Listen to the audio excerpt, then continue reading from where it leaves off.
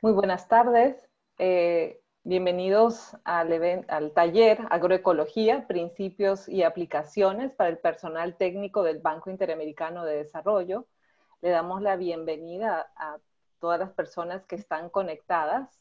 Eh, voy a dar la, la palabra de, eh, de, bienvenida al señor Pedro Martel, jefe de la División de Agricultura y, y Pedro. Hola, hola a todos. Eh, como están, veo casi todas las caras o nombres conocidos. Eh, gracias por el entusiasmo que han mostrado, por, la, por haberse conectado, por haberse registrado a este evento. Eh, creo que va a ser de mucho interés. Agradezco mucho el apoyo de Kik en esto, como siempre. Y a la, al doctor Altieri y a su equipo Zoraida Calle, que va a estar hoy con ustedes, Nicole, eh, Clara Nichols, que va a estar a lo largo del tiempo, y habrá otras personas que, les acompañarán. Creo que eh, este, este, este curso, no yo voy a decir evento, no, pero en realidad es un curso, cosa que no hacemos, creo que es primero que hacemos como división o como grupo en este momento. Eh, es muy interesante la idea esta de trabajar en, yo no quiero decir que es uno bien regresando al pasado, sino que creo que es viendo hacia el futuro de una manera, digamos, más, eh, con mucha más conocimiento de qué es lo que funciona y qué es lo que no funciona desde el punto de vista de sistemas eh, agroecológicos y voy a atreverme a decir sostenibles, ¿no? Eh, creo que esto es parte de lo que vamos a estar viendo en, este curso. Yo, yo eh, desafortunadamente no les voy a poder acompañar todo el tiempo, pero yo voy a estar ahí tratando de leer algunas de las asignaturas y intercambiando con ustedes. algo que de entrada creo que los que me conocen saben que eh, a mí me apasiona este tema por un lado, pero no me apasiona simplemente porque es algo romántico, sino que creo que está fuertemente basado en ciencia, ¿no? Y es parte de lo que dice a la entrada este, este curso, ¿no? Es un tema eh, que está basado en el, en conocimiento objetivo, científico, que muestra que tiene sentido hacer las cosas que se hacen alrededor del tema de agroecología. Lo que vamos a tener ahora como grupo es algo nuevo para nosotros, no lo hemos tratado, yo creo que hay que aprovecharlo, tenemos eh, instructores, facilitadores, eh, personas que nos van a estar llevando a lo largo del curso de mucha capacidad, mucha experiencia y muchos años de trabajo en esta materia. Así que aprovechemos eh, y nuevamente muchas gracias a, todos ustedes por estar conectados. Gracias, Grace, y te devuelvo el micrófono.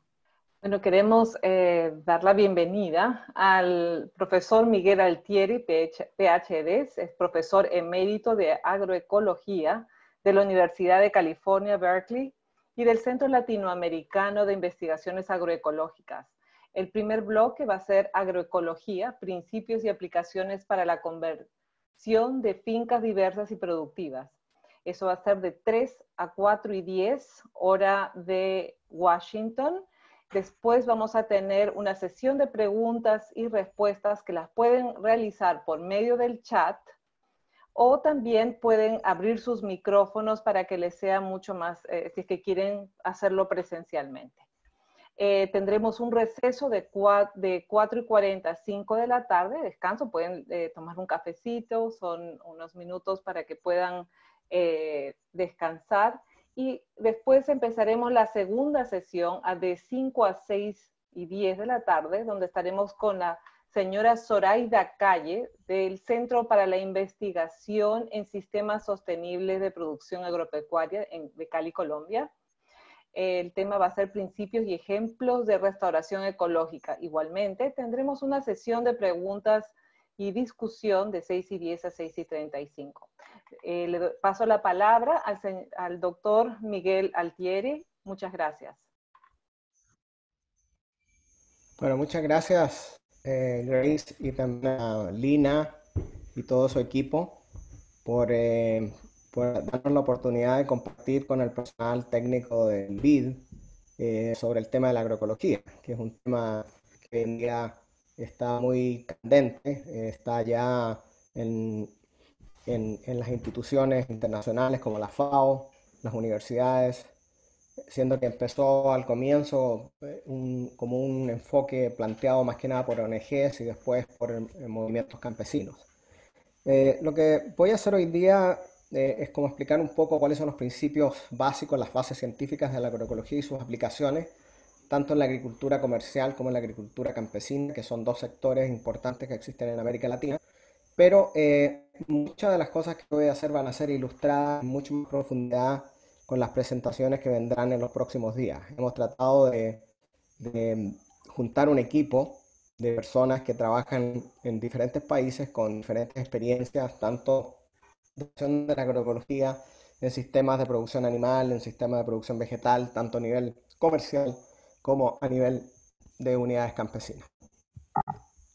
Bueno, la agricultura no es otra cosa que la simplificación de la naturaleza. Cuando nosotros disturbamos un bosque cierto natural y lo transformamos en un monocultivo, lo que estamos haciendo es una simplificación del ecosistema. Y en la medida que hacemos eso, perdemos la biodiversidad de estos sistemas, va decreciendo en la medida que simplificamos los sistemas. Y eh, debido a eso, estos sistemas pierden eh, la capacidad de autorregulación, entonces empiezan a depender de, insumos externos. Un bosque natural no necesita de, manejo ni de insumos externos, pesticidas o fertilizantes, porque la biodiversidad que existe en estos sistemas es la que conlleva a que se creen los, a través de sus interacciones procesos ecológicos como la regulación de plagas, el reciclaje de nutrientes. Entonces lo que la agroecología trata es como de emular lo que sucede en los ecosistemas y aplicarlos para diseñar sistemas agrícolas que sean biodiversos, que sean autosuficientes, autorregulados, eh, etc. Ahora, ¿qué ha, ¿qué ha, pasado? Que nosotros hemos creado una agricultura eh, a nivel mundial que se expande a expensas de ecosistemas naturales y combinadas muchas veces con tecnologías agroquímicas, están convirtiéndose en una fuente que está eh, impactando la biosfera en forma bastante dramática. Eh, por ejemplo, hay estudios que se han hecho en la Universidad, de Sussex que calculan las externalidades de la agricultura si nosotros eh, de alguna manera contabilizáramos los impactos sobre la contaminación del agua, la pérdida de biodiversidad, impactos sobre la salud humana que pueden ser a través de la contaminación con pesticidas, con enfermedades eh, patógenas que se, generan, de la agricultura, la desaparición de ecosistemas especiales como los humedales, las pérdidas de suelo, erosión, por ejemplo, de suelo, y las emisiones de gases invernadero, que muchas veces en la agricultura eh, moderna puede alcanzar hasta un 47% de las emisiones si se considera el transporte de los alimentos y el procesamiento. Bueno, se ha, se eh, dicho o se ha calculado que puede llegar hasta 208 libras esterlinas por hectárea si nosotros internalizáramos estos costos y no se externalizaran como se hacen hoy en día. Entonces la agricultura eh, industrial, en la medida que ha ido avanzando como cultivo, se ha, se ha, vuelto demasiado estrecha ecológicamente, altamente dependiente de insumos agrícolas, extremadamente vulnerable a plagas, enfermedades y también al cambio climático. Y resulta que el 80% de las 1.5 billones de hectáreas que están siendo cultivadas en el mundo son básicamente grandes monocultivos de maíz, trigo, arroz, que entre estas tres especies proporcionan más del 50% de las calorías que consume la humanidad, a pesar de que nos podríamos estar alimentando además 2.500 especies de plantas. Eh, entonces, ¿cuáles han sido las consecuencias de esta homogeneización, de esta simplificación ¿cierto? agrícola? Es que por un lado hay un, aumento de la vulnerabilidad eh, por pérdida de rendimientos debido a plagas y enfermedades. Por otro lado, eh, inestabilidad de rendimiento debido a los efectos de los patrones climáticos que están cada vez más impredecibles. Y también hay una serie de pérdidas de los servicios ecosistémicos, por ejemplo, el control natural de plagas, la fertilidad del suelo, la polinización, son todos servicios ecológicos que se van perdiendo con esta homogenización. Por ejemplo, el caso de, la pérdida del servicio de, control natural de plagas, hoy día se, traduce en que tenemos que utilizar más de 2.3 billones de kilos de ingredientes activos de herbicidas, insecticidas y fungicidas que se inyectan en la biosfera. Y ustedes ven aquí América Latina, eh, los, se está incrementando eh, el uso de estos pesticidas, sobre todo en países como Brasil, Argentina, México, Colombia. Y lo que sucede es que muchas veces hay consecuencias que, no son em, que no fueron advertidas, como por ejemplo el caso que tiene que ver con la resistencia a los insecticidas, a los pesticidas por parte de las plagas. Por ejemplo, hay más de 540 especies de plagas de insectos que son resistentes a más de mil diferentes productos insecticidas. Hay una resistencia. En el caso malezas, por ejemplo, esto se está agravando mucho con el uso de los cultivos transgénicos. En el caso de la soya transgénica, aquí ustedes ven, en, esto es en Brasil, en el sur de Brasil, todo lo verde son malezas resistentes al Roundup, al glifosato. Ya existen aproximadamente unas 12 especies de malezas que son resistentes al glifosato. Entonces entramos en estos espirales de pesticidas que muchas veces encarecen los costos de producción y hay veces que se producen hasta crisis productivas, como ha sido el caso histórico del algodón en Centroamérica y en, en el Valle del Cañete en Perú. Por otro lado, la vulnerabilidad al cambio climático.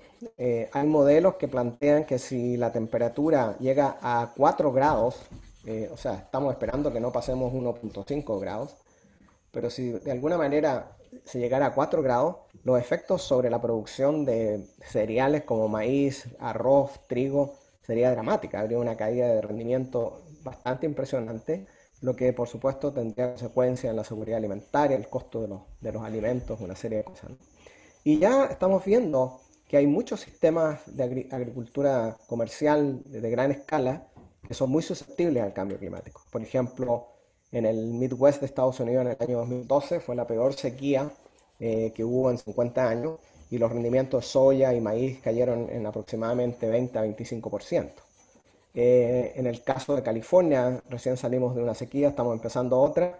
En el 2014 se tuvieron que sacar de la producción más de 400.000 400 acres y lo que significó una pérdida de 1.5 billones de dólares sin contabilizar la pérdida de empleos que estuvo asociado con, esto, con este fenómeno. Y los huracanes que están afectando dramáticamente eh, tanto Florida, el sureste de Estados Unidos, pero también eh, cierto, eh, el Caribe, Haití, Puerto Rico, Cuba. También vemos que los estragos son bastante altos y estos sistemas que no tienen resiliencia porque no son sistemas biodiversos, eh, sufren mucho eh, frente al cambio climático. Clara Nichols va a hablar sobre este tema mañana de agroecología y resiliencia al cambio climático. También tenemos el problema de la producción a gran escala y esto está muy estamos viviendo hoy día. Eh, hay una lista de patógenos mortales que han surgido debido a la forma que practicamos la ganadería comercial industrial, como por ejemplo la influencia aviar asiática, las variantes de la gripe porcina, la ébola, etcétera, etcétera, son todos patógenos que de alguna manera están, están asociados a la manera como nosotros eh, estamos criando los animales que son genéticamente similares, confinados, y hace que estos animales sean mucho más susceptibles a las infecciones virales, pero también estas mismas condiciones de, confinamiento crean las condiciones para que nuevos patógenos evolucionen a tipos más infecciosos. Y también, debido a eso, hay que estar utilizando constantemente antibióticos. Estos antibióticos en Estados Unidos, el uso es aproximadamente 17.000 toneladas que se utilizan ahora en piensos para animales. Y existe una relación directa entre el uso de los antibióticos en las fincas de gran escala y la propagación de la resistencia a los antibióticos a las poblaciones humanas. Por otro lado, los monocultivos que, que, empiezan a, expandirse, sobre todo la soya, por ejemplo, en Sudamérica, eh, más de 56 millones de hectáreas a cuestas de, cierta vegetación natural, bosques nativos, etc. Eh, eh, esto también tiene consecuencias también en relación al COVID-19 que estamos viviendo hoy en día, esta pandemia, ¿no? Porque la deforestación lo que hace es que desencadena procesos por los cuales los patógenos previamente encerrados en ambientes naturales se están entendiendo, entran en contacto con las comunidades ganaderas y humanas. Porque qué pasa que en estos bosques están los virus, a veces ves en pájaros, en los arillos, en una serie de, en, bats, en murciélagos. Eh, y una vez que se destruyen los hábitats, estos animales entran en contacto con las comunidades ganaderas y humanas y de esa manera se empiezan a transmitir estos virus que estamos hoy en día sufriendo el, el planetario. Entonces, podríamos decir claramente que lo que necesitamos es una transición agroecológica de estos sistemas, ¿cierto? Que son monocultivos, que carecen de biodiversidad, que tienen una huella ecológica bastante, Y esta transición, es, nosotros la, llamamos la transición agroecológica. Es decir, es un proceso de cambio, de conversión de las prácticas agrícolas y la readecuación biológica a un sistema agropecuario tendiente a la recuperación de los principios ecológicos que logren equilibrar la producción y su independencia de insumos externos, especialmente químicos. Entonces, básicamente, lo que tratamos de diseñar sistemas agrícolas biodiversos en los cuales se restauran los procesos ecológicos y también sociales que le permitan al sistema acercarse a la sustentabilidad. Entonces, la agroecología es la que guía esta transición y es una ciencia, es una ciencia que se basa en los principios de ciencias occidentales que aprendemos en las universidades, como la ecología, como, como las ciencias agrícolas básicas, pero también ciencias sociales, eh, de la, sociología rural, la antropología rural, etcétera, etcétera. Pero también valoramos el conocimiento tradicional milenario de, los campesinos y de los indígenas en América Latina, en los cuales tenemos centros de orígenes importantes como en Mesoamérica, en los Andes, donde se ha hecho agricultura de más de 5.000 años. Entonces, lo que se trata es de crear un diálogo de saberes entre estos dos tipos de conocimiento y de ahí entonces surgen unos principios fundamentales que son los que guían, que toman formas tecnológicas especiales de acuerdo a las circunstancias de cada región, tanto ambientales como socioculturales, económicas, etc. Y entonces de ahí estos principios surgen para diseñar estos sistemas que van a tomar diversas formas de acuerdo, como les decía, a las condiciones de cada zona. Estos principios básicamente son seis principios. Eh, también hay principios sociales, pero no me voy a concentrar en la parte más técnica hoy en día. Donde está, por un lado, todo tiene que ver con el reciclaje de biomasa y la descomposición de la materia orgánica y el ciclo de nutrientes. Cómo optimizar todo eso. Segundo es fortalecer el sistema inmunológico de los sistemas agrícolas, eh, ya sea a través de la biodiversidad funcional, o sea, fomentar la fauna benéfica, los microorganismos benéficos que de alguna manera eh, pueden ayudarnos a combatir las plagas. También queremos proporcionar al suelo las condiciones físico-químicas y biológicas favorables, sobre todo a través de la adición de materia orgánica y la activación biológica del suelo. Queremos también minimizar las pérdidas del sistema, no queremos que se pierdan ni nutrientes, ni energía, ni agua, ni recursos genéticos, ni biodiversidad, todo a través de prácticas de regeneración y conservación.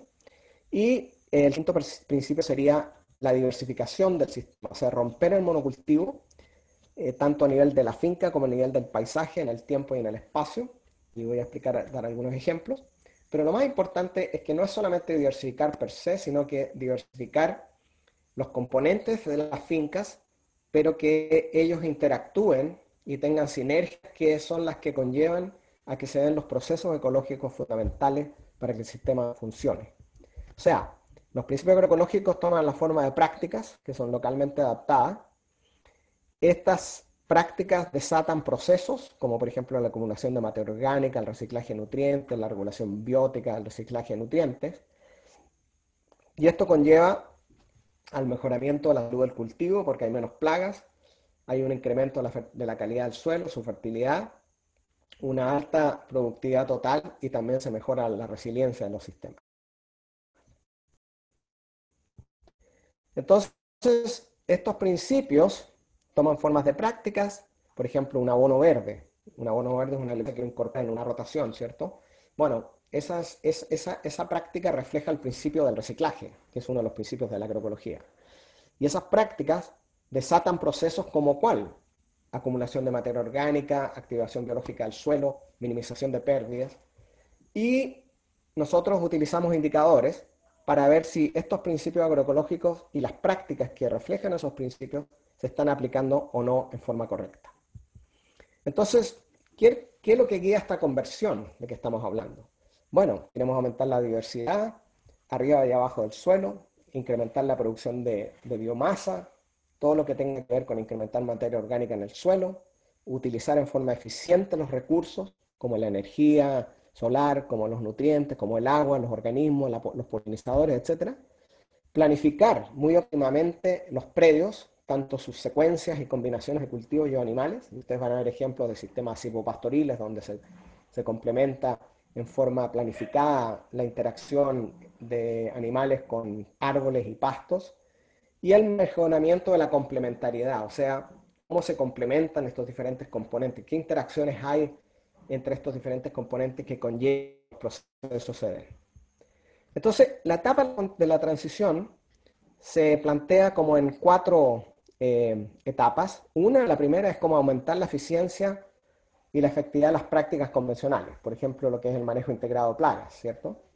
Eh, donde optimizamos el uso de los pesticidas, no por calendario, sino que se hace un monitoreo y se aplican ciertos pesticidas de acuerdo a ciertos niveles poblacionales de plagas que existen en el campo. El segundo es reemplazar esos productos químicos de, sintéticos por eh, lo que se llama la sustitución de los insumos por productos orgánicos, insumos orgánicos. Esto sería la agricultura orgánica, ¿no? donde se aplican productos biológicos, botánicos, microbianos, etc. Pero la última etapa, que es el objetivo de la agroecología, es como rediseñar el agroecosistema para que funcione sobre la base de un, de un conjunto de procesos que son desatados por los diseños y las prácticas que nosotros implementamos. Y ya la última etapa tendría que ver con una, con, una etapa que tiene que ver con achicar, acortar y establecer más directos flujos de entre, la producto y entre la producción y el consumo.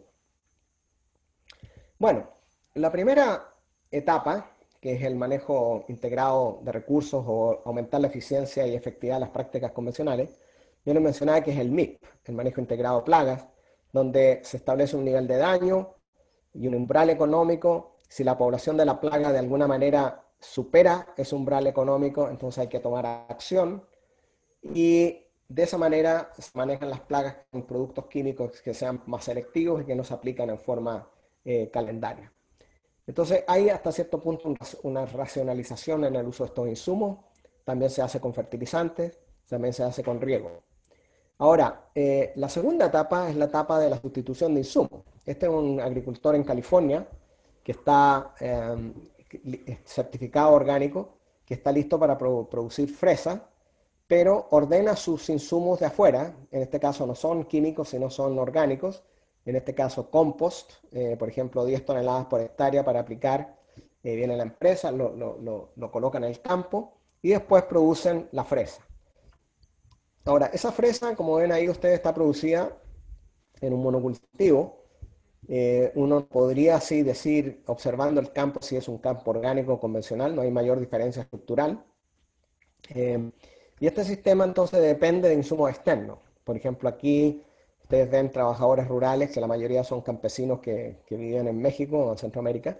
Eh, aquí ustedes ven que están aplicando con esa botellita, están liberando un insecto benéfico para matar los ácaros de la, de, la, de, la, de la fresa. Entonces, en vez de aplicar productos químicos, aplican productos biológicos, pero los tienen que hacer en forma constante, eh, semanalmente, como un insumo más. Y, mañana Clara Nico les mostrará cómo, cómo, cómo, con diseños agroecológicos se puede evitar esa dependencia de estar liberando estos insectos benéficos. En los casos de viñedos, por ejemplo en Chile, este es Conchitoro, que es una de las mayores empresas de, uvas en Chile eh, para producción de vino, este es un, es un huerto de 300 hectáreas, pero que recibe 18 productos externos orgánicos por temporada. Eh, y estos productos son caros, pero también hay veces que hay contradicciones. Por ejemplo, el azufre, que se utiliza mucho para combatir lo que sería eh, enfermedades como el, el oidio o la botritis, puede afectar a los insectos benéficos que se benefician por la falta de insecticida. Entonces se producen, empiezan a producir contradicciones en el manejo de estos sistemas. Bueno, estos sistemas orgánicos eh, se han hecho muchos estudios comparando la producción entre orgánico y convencional y se, existen datos que plantean de que muchas veces la agricultura orgánica es 10 a 15% menos productiva que la convencional.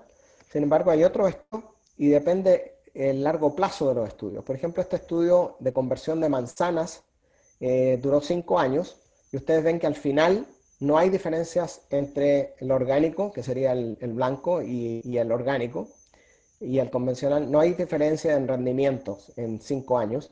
Y depende del año, porque, por ejemplo, si nosotros hacemos una investigación, que es típico lo que hacemos en las tesis universitarias, si, si yo la hago en el 96, concluyo que el convencional es más productivo. Pero si la hago en el año 98, me doy cuenta que, no hay eh, que, hay, que es mayor la, la, productividad en el orgánico. Pero lo más importante es capturar todo este proceso de conversión en el largo plazo, ya que los procesos ecológicos son más lentos que los, que los, que los términos, eh, que, los, ritmos económicos, y vemos que claramente no hay diferencia significativa entre los sistemas. Entonces, la investigación de largo plazo es muy importante para capturar de alguna manera este proceso de la conversión.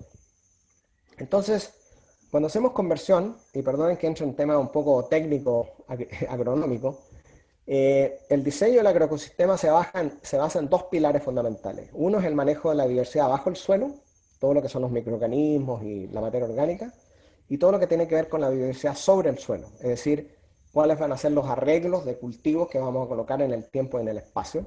Y todo esto conlleva entonces a un, a un, agroecosistema más productivo, más saludable. Entonces, el primer pilar es el manejo del suelo, sobre todo lo que es la materia orgánica. Y cuando hablamos de suelo, nosotros estamos hablando de los primeros 5 centímetros de suelo donde ocurren todos los procesos biológicos, donde se acumula la mayor cantidad de actividad biológica y que es el suelo fértil, donde está la materia orgánica, lo que se llama el, horizonte A del suelo, ¿cierto? Y en este suelo es muy importante eh, una característica, además de la, textura, que es la proporción entre arcilla, arena y limo, es la estructura del suelo. Un suelo que sea bien estructurado como este, donde hay muchos poros donde, para la circulación de agua y aire, es fundamental para la producción agrícola. Y esto se puede eh, mejorar con manejos agroecológicos. ¿no? Y la materia orgánica, el contenido de materia orgánica es muy importante porque puede tener una serie de efectos en el sistema, desde aumentar la capacidad de retención de humedad, que es clave para, para climas secos, eh, libera lentamente los nutrientes, incrementa eh, la actividad del fauna y la flora del suelo, favorece la estructura, los agregados que le da del suelo y una serie de otros procesos fundamentales. Entonces la materia orgánica del suelo es como es fundamental medirla y muchas veces se puede medir en forma sencilla. Por ejemplo, ustedes sacan un ron de suelo, lo, lo colocan en agua, lo dejan unas 24 horas. Por ejemplo, este suelo de la derecha que está totalmente el agua turbia, quiere decir que no tiene materia orgánica y si tiene, tiene muy poca, mientras que esta otra tiene mucho más materia orgánica porque el, agregado, o sea, el terrón, eh, quedó estable. ¿Y por qué quedó estable? Porque la actividad biológica del suelo hace que haya unos pegamentos que permita que, estos eh, agregados se peguen unos con otros. Y, eso significa que hay mayor cantidad de actividad biológica y mayor materia orgánica que en este otro suelo. O también podemos hacer eh, utilizando, por ejemplo, bolsitas de té, que las enterramos en el suelo para ver eh, después de una semana si se descompusieron o no se descompusieron estas, estas, bolsitas de, de, té que nos permite entonces decir, claro, si esta, esta, esta bolsita de té se descompuso muy rápido en este suelo versus este otro, es porque este suelo tiene mayor cantidad de teológica y por supuesto también mayor cantidad de materia orgánica. Y la materia orgánica en la medida que se incrementa, eh, se va incrementando la cantidad de agua que absorbe. Y Zoraida seguramente les va a dar un dato de que en la medida que nosotros incrementamos en 1% la, la materia orgánica, eh, esto conlleva una cantidad determinada de agua por metro cuadrado por hectárea que se va, eh, se va eh, almacenando en el suelo. Y esto se ha visto en, ensayos de largo plazo, por ejemplo en Rodale, que es un instituto que está ahí en Pensilvania, en ensayos de muchos años, de 30 años, han observado que en los años secos los sistemas orgánicos son más, más productivos que los sistemas de maíz convencionales. ¿Por qué?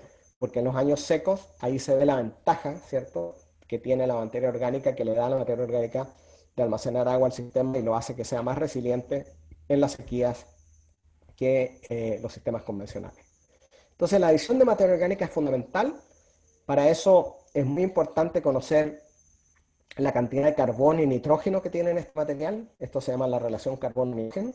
Generalmente queremos trabajar con materiales de leguminosas que tiene una, relación carbono-nitrógeno menos de 20, porque lo que pasa es que se descomponen más rápido y no hay movilización de nitrógeno. O sea, aquí ustedes ven que si yo, por ejemplo, le pongo trigo o se va al campo y lo incorporo, y esto tiene una relación carbono-nitrógeno muy alta, va a haber hambre de nitrógeno porque los microorganismos están usando el nitrógeno, el poco nitrógeno, para su propio desarrollo. Y aquí, entonces, si yo siembro mi cultivo a las dos semanas o cuatro semanas, no va a haber nitrógeno habría que plantar a la, sexta, semana. Pero en el caso de la alfalfa, que es una leguminosa y yo la incorporo al suelo, que tiene una relación carbono-nitrógeno 13 a 1, ustedes ven claramente que hay un... Yo puedo sembrar inmediatamente porque no hay fijación de nitrógeno o inmovilización de nitrógeno. Entonces, estos suelos orgánicos ricos tienen mucha fauna, microfauna, macrofauna, eh, mesofauna, etcétera. Todos juegan roles importantes en, la función del suelo.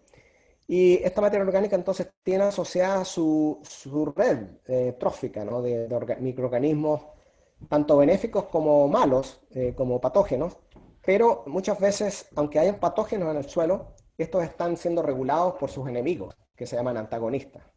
Entonces, muchas veces no hay que alarmarse si uno encuentra que un campo, eh, en un suelo hay patógenos, porque también hay que ver la proporción de los, de los microorganismos benéficos que están en el suelo.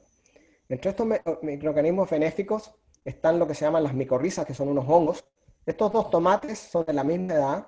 Lo que pasa es que esto se les inoculó la micorriza al hongo y a estos no se les inoculó.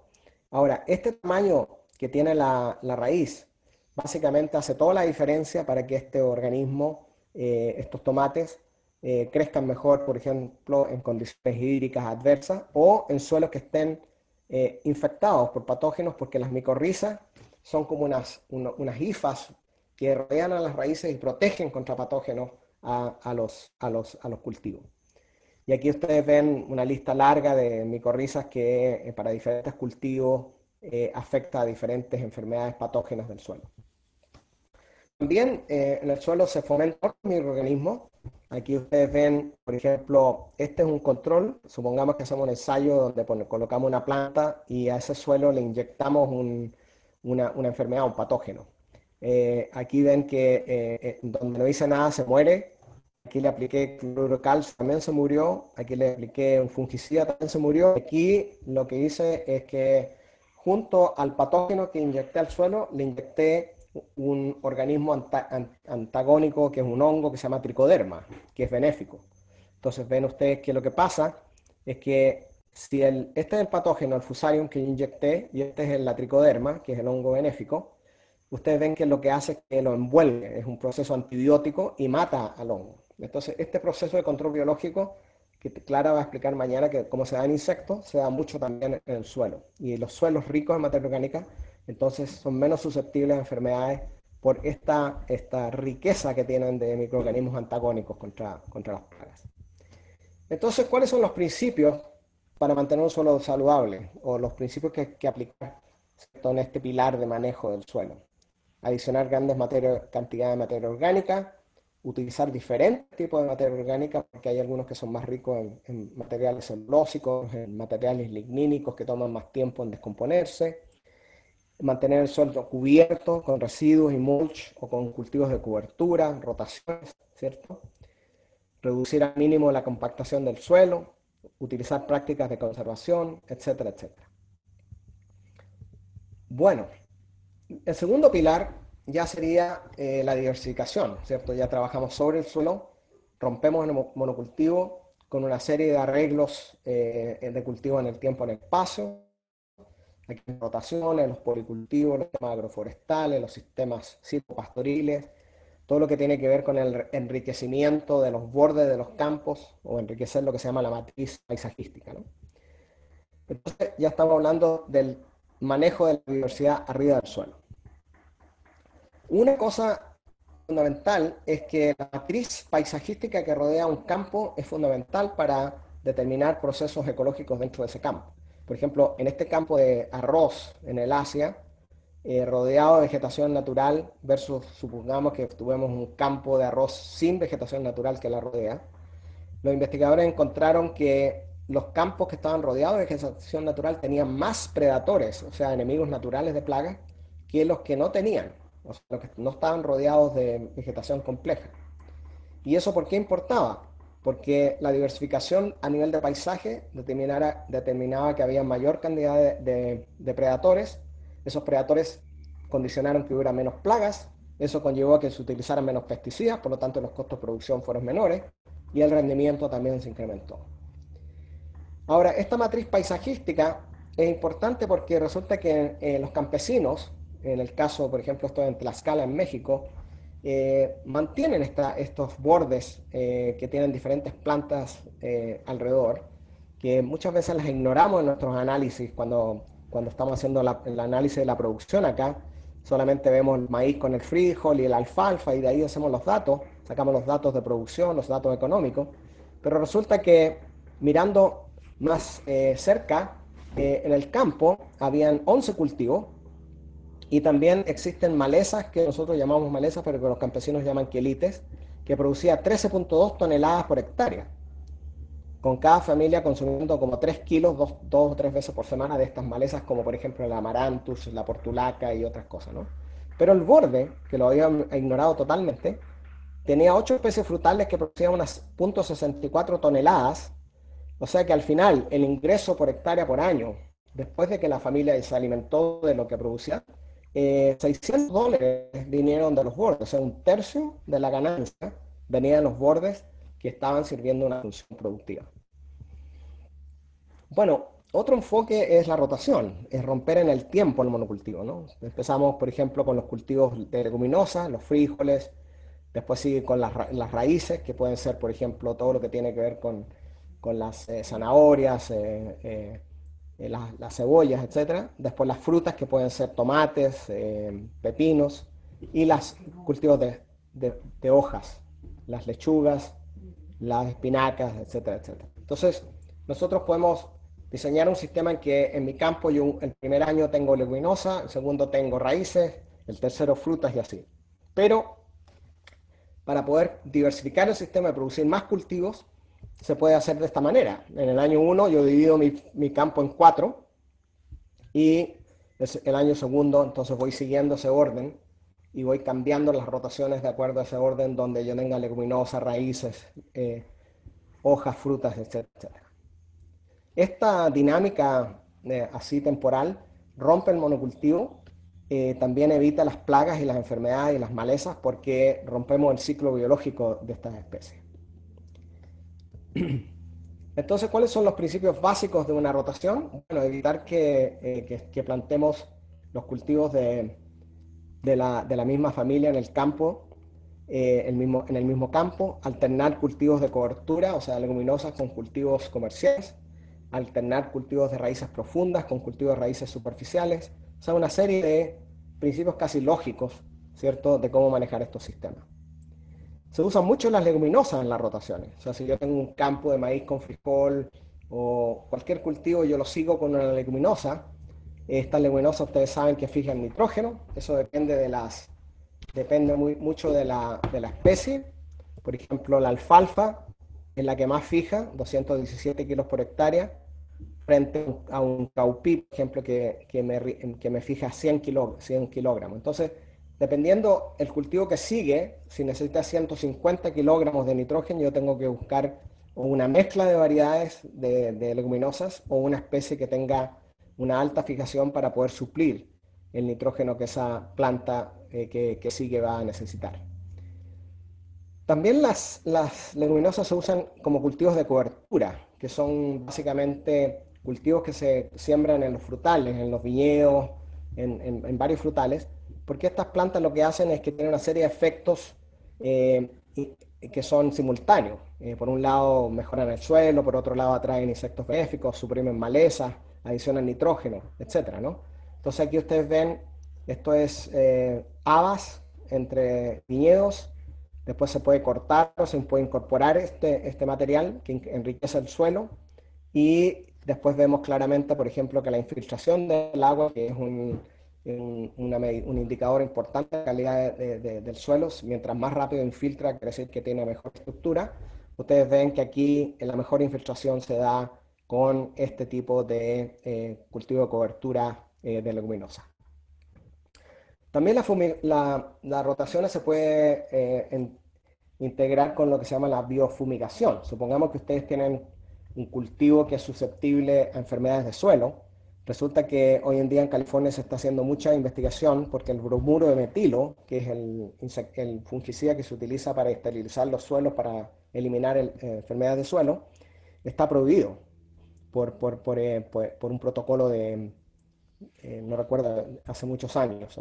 Y resulta que se aplica entonces, eh, lo que se hace es que se siembra un cultivo de brásica, de la familia crucífera, y se incorpora al suelo. ¿Por qué? Porque resulta que las, brásicas, estas, estas crucíferas, tienen una sustancia que se llama glucosinolato, y cuando nosotros la, la maceramos, entonces se produce la isocianato, que es un fungicida natural, y elimina entonces enfermedades del suelo. También la rotación se puede planificar para suprimir maleza. Este es el caso de en Brasil, por ejemplo, los campesinos del sur de Brasil lo que hacen es que hacen un cóctel de cobertura, mezclan 5 o 7 especies de diferentes cultivos, después le pasan lo que se llama la rolofaca, que es una especie de que no incorpora ni corta al, suelo, sino que lo aplana, lo deja así, ese mulch de material eh, de diferentes especies, y sobre eso siembran sus cultivos. En este caso tenemos una siembra cierto de, baja labranza que se llama, o labranza cero, donde hay frijol con maíz y ahí está eh, entre medio del, del, rastrojo. Lo importante es que ustedes ven que surgen los cultivos, emergen los cultivos, pero no emergen las malezas.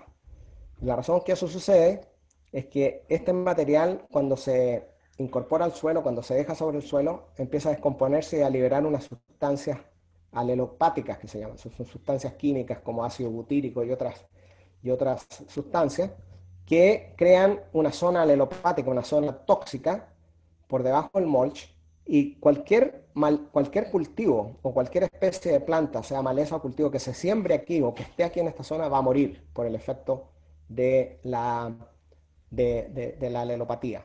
Pero los, agricultores aprendieron de que si sembraban el maíz y el frijol más profundo, o sea, a 3 o 4 o 5 centímetros, entonces evitaban que el maíz y el frijol eh, fueran afectados por este proceso tóxico de alelopatía. Pero las malezas, el 99% de las semillas malezas generalmente están ubicadas en los primeros 2-3 centímetros del suelo. Entonces, una especie de control biológico de maleza que hoy en día ya hay agricultores modernos en Kentucky y en, otras partes de este Estados Unidos que han desarrollado rolofacas ya más modernas, utilizando el centeno, que es una planta que tiene sustancias alelopáticas muy fuertes, y siembran entonces, aquí ustedes ven, por ejemplo, pueden sembrar soya, maní, diferentes cultivos, sin la utilización de herbicidas, porque en la labranza mínima, o lo que se llama conservation agriculture o eh, zero, tillage, se usa mucho glifosato, Roundup.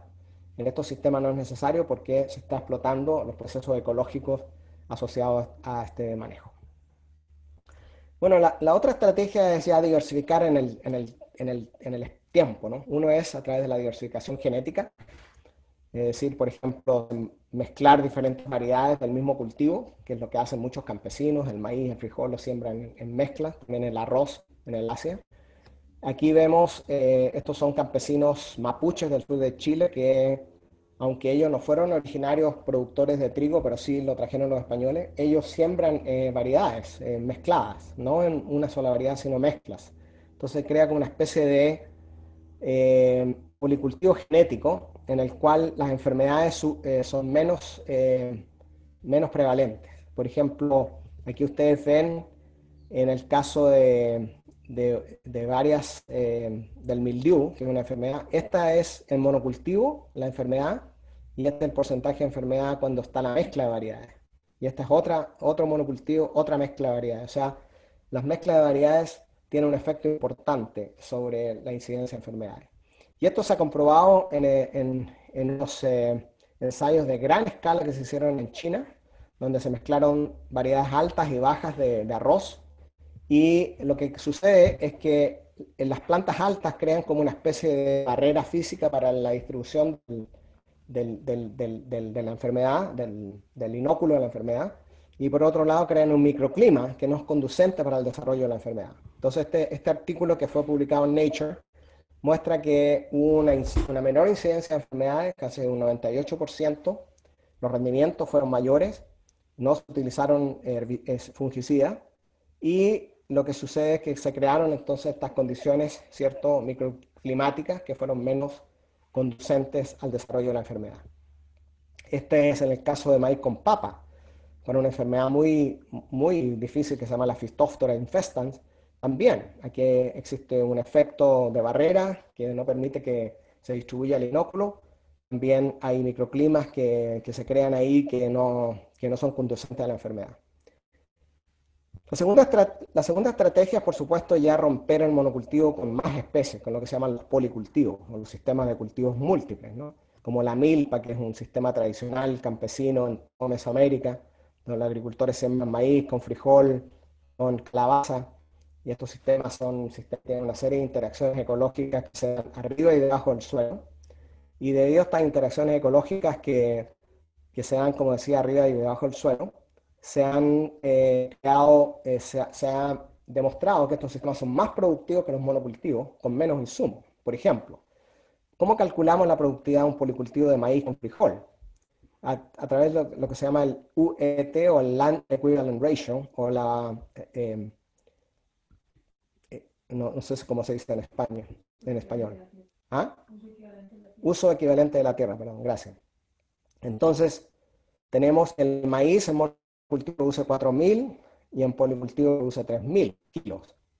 Y en el caso de frijol, 100.000 versus 750. Bueno, podríamos concluir que el maíz en monocultivo produce más que en policultivo, pero resulta que como son dos cultivos que están sobrepuestos, hay que hacer una transformación y calcular lo que se llama el, el LER, el Land Equivalent Ratio. O sea, para eso yo hago, esta es la producción del maíz en policultivo sobre la producción del maíz en monocultivo, más la producción del frijol en policultivo sobre la producción del frijol en monocultivo. Esto me da estos valores y cuando me da 1.5, significa que yo necesito 1.5 hectáreas de monocultivo para obtener la misma productividad que yo saco de una hectárea de policultivo. O sea, en el fondo necesito 50% más tierra de monocultivo para obtener lo que obtengo en una unidad de tierra de policultivo. Y esto se ha demostrado porque eh, estos policultivos lo que hacen es que, además de optimizar el uso de los recursos, de, la, luz, del, agua, de los nutrientes, también tienen efecto ecológico sobre plagas. En este caso aquí ustedes ven qué sucede en una asociación de maíz frijol. Debajo del, del follaje ustedes ven que casi no hay malezas y en un monocultivo sí hay malezas. Bueno, aquí en este sistema lo que está haciendo es que el frijol está ocupando el nicho, que de otra manera el nicho que utilizan las malezas. Entonces aquí vemos estudios que se han hecho, por ejemplo, en India de sorgo, donde vemos que el sorgo en, monocultivo produce eh, la biomasa mucho más alta de malezas que en monocultivo, que en cualquiera de los policultivos, y que los rendimientos del sorgo se incrementan eh, debido justamente al, efecto de que, del LER, ¿cierto? Bueno, ahora, ¿cómo se aplican todos estos principios para diseñar una finca que sea biodiversa, que sea resiliente, como es el título de esta charla? Bueno, en Chile en el año, en los años eh, tardíos 80, con el SET, justamente la gente que va a hablar el jueves, eh, nosotros diseñamos una finca, nos hicimos la pregunta, ¿es posible en media hectárea, en un acre, producir comida suficiente para alimentar a una familia de cinco. Entonces se creó una, finca experimental donde vivía una familia de cinco, de cinco personas, eh, dos adultos y tres niños, donde tenían, por un lado, eh, huertas alrededor de la casa, gallinas, una vaca, eh, conejos, frutales, etc. Todo el campo estaba rodeado de frutales, ahí se, recién se están estableciendo, y el campo se dividió en, seis parcelas. Aquí ustedes ven que hay seis parcelas. Estas parcelas tenían una rotación que está explicada en los artículos que le hemos enviado para los que quieran ver con más detalle. Y entonces, eh, después se hizo un cálculo. Bueno, primero, ¿cuánto producía la huerta? La huerta que tenía 10 metros cuadrados. Bueno, en esa, en esa eh, huerta se produjo 200 eh, kilos de vegetales por año, o sea, 20 kilos por metro cuadrado, ¿cierto? Y calculando que 72 kilos de vegetales come cada persona de la familia, calculamos que se podía satisfacer el 55% de las necesidades anuales de la familia de 5. Ese fue el primer cálculo. El segundo cálculo ya viene, tiene que ver con la media hectárea, donde claramente vemos que las frutas estaban produciendo casi una tonelada después de tres años, la leche 3.200, la vaca las gallinas 730 kilos de carne, los huevos 2500, miel, etcétera. Bueno, si ustedes calculan todo esto, una familia de cinco no se come todo esto, sino que hay un excedente. Un excedente que si lo calculamos en proteínas, calorías, vitamina A, vitamina C, vemos que hay un excedente bastante importante que se puede vender. Entonces, ¿qué es, ¿cuál es la lección de esto? Es de que, primero, la familia ahorraba en comprar comida. Lo único que tenía que comprar era aceite y sal. Eh, el resto se produce en la finca. Por lo tanto, se ahorran, no sé, 200, 300 dólares por, semana. Después tenemos eh, que los costos de producción eran mínimos porque no había insumos que se utilizaban en el sistema. El diseño agroecológico los hizo autónomos desde el punto de vista productivo. Y por otro lado, eh, la venta de los productos generó eh, aproximadamente una cantidad de dinero que también fue importante para determinar un ingreso de 1.600 dólares que en ese tiempo en Chile, estamos hablando de los, de los 80, lo sacaba de la, de, la, de la, línea de pobreza. También hay otros ejemplos en, en Cuba, donde, por ejemplo, hay más de 130.000 campesinos que utilizan la agroecología. Este es eh, Casimiro, que es un, uno de los líderes campesinos allá, donde primero tenía un sistema de maíz con, con tapo y lo convirtió en una finca agroecológica una vez que se entrenó en agroecología Tenía 10, tiene 10 hectáreas y se llama La Finca del Medio, incluso ustedes lo pueden ver en Facebook. y está rodeado de, una serie de, plantas multifuncionales. Eh, esto es muy importante para proveer a la finca de muchos productos, frutas, madera, eh, flores para polinizadores, etcétera, pero también protección contra huracanes, una serie de rotación, sistemas silvopastoriles. Bueno, la cosa es que la, hija de Casimiro hizo un doctorado con nosotros en agroecología y, y, vio que el sistema, después, desde 1995, cuando comenzó la finca, la, dependencia de insumos bajó casi a cero. Es decir, al comienzo necesitaba mucho insumo, pero en la medida que se fue estructurando la, la infraestructura del sistema, se fue bajando la necesidad externa. Y aquí ven que esta finca, que tiene 10 hectáreas, es capaz de producir suficiente proteína por hectárea para alimentar a 30 personas, o sea, 300 personas con 10 hectáreas, con una, una eficiencia energética de 30, que significa que coloca una kilocaloría y saca 30 de vuelta. La agricultura convencional e industrial, la mejor eficiencia es de 1.5. O sea, estas fincas son 20 veces más eficientes desde el punto de vista energético y ecológico.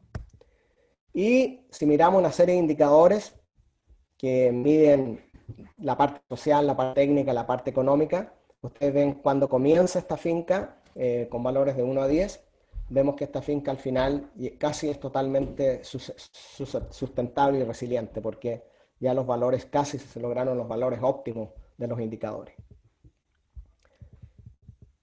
Bueno, eh, siempre queda la impresión de que la, agroecología se aplica solamente a la agricultura campesina. Hay grandes e-, ejemplos de grandes empresas comerciales, como por ejemplo en Argentina, donde esta era una finca eh, de soya transgénica que fue comprada por un, agricultor que quería hacer una transformación agroecológica.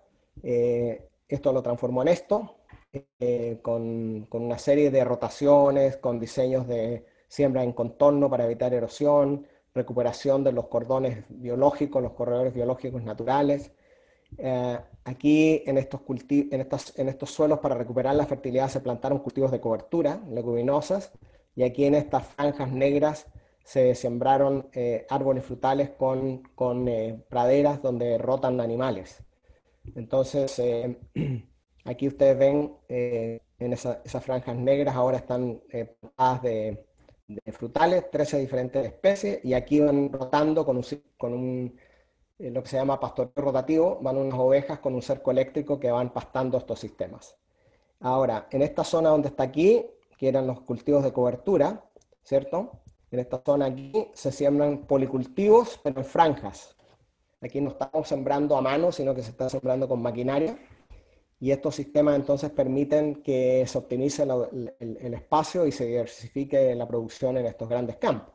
Ahora, estos sistemas eh, son sistemas que existieron en Estados Unidos. Por ejemplo, eh, en el Midwest se utilizaba mucho cebada, soya y maíz.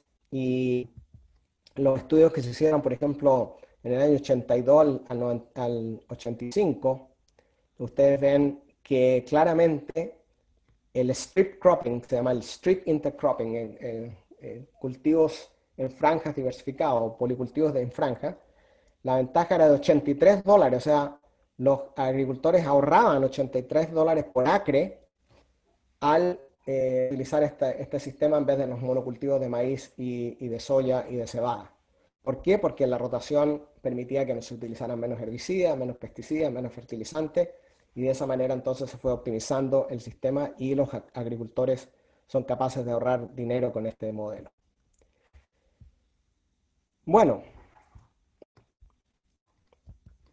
lo que sucede es que al comienzo, si estos son los costos de producción, se elevan porque hay que establecer la infraestructura ecológica, pero yo creo que Carlos Hernando eh, les va a demostrar a ustedes con una operación comercial en Colombia cómo esto se da desde el punto de vista económico, que después ya llega un momento que ya los procesos agroecológicos, o sea, el capital natural se encarga de la finca y no tanto el capital financiero, porque empiezan a funcionar los procesos agroecológicos y con el tiempo los costos de, producción se van bajando en forma considerable en los sistemas. Entonces, yo le decía que los, los principios agroecológicos se traducen en prácticas, esas prácticas fomentan procesos, como vimos, control biológico, regulación de malezas, eh, reciclaje de nutrientes, etc. Y esto conlleva a un, agroecosistema más productivo, más estable, más resiliente. Pero tenemos que ver si podemos de alguna manera medir si se está yendo en la, dirección correcta. Y para eso eh, se pueden desarrollar indicadores. Nosotros hicimos un estudio el año antepasado en Japón eh, con un grupo de investigadores donde desarrollamos una teoría que nos, permitiera ver si los principios y las prácticas estaban aplicándose en forma correcta.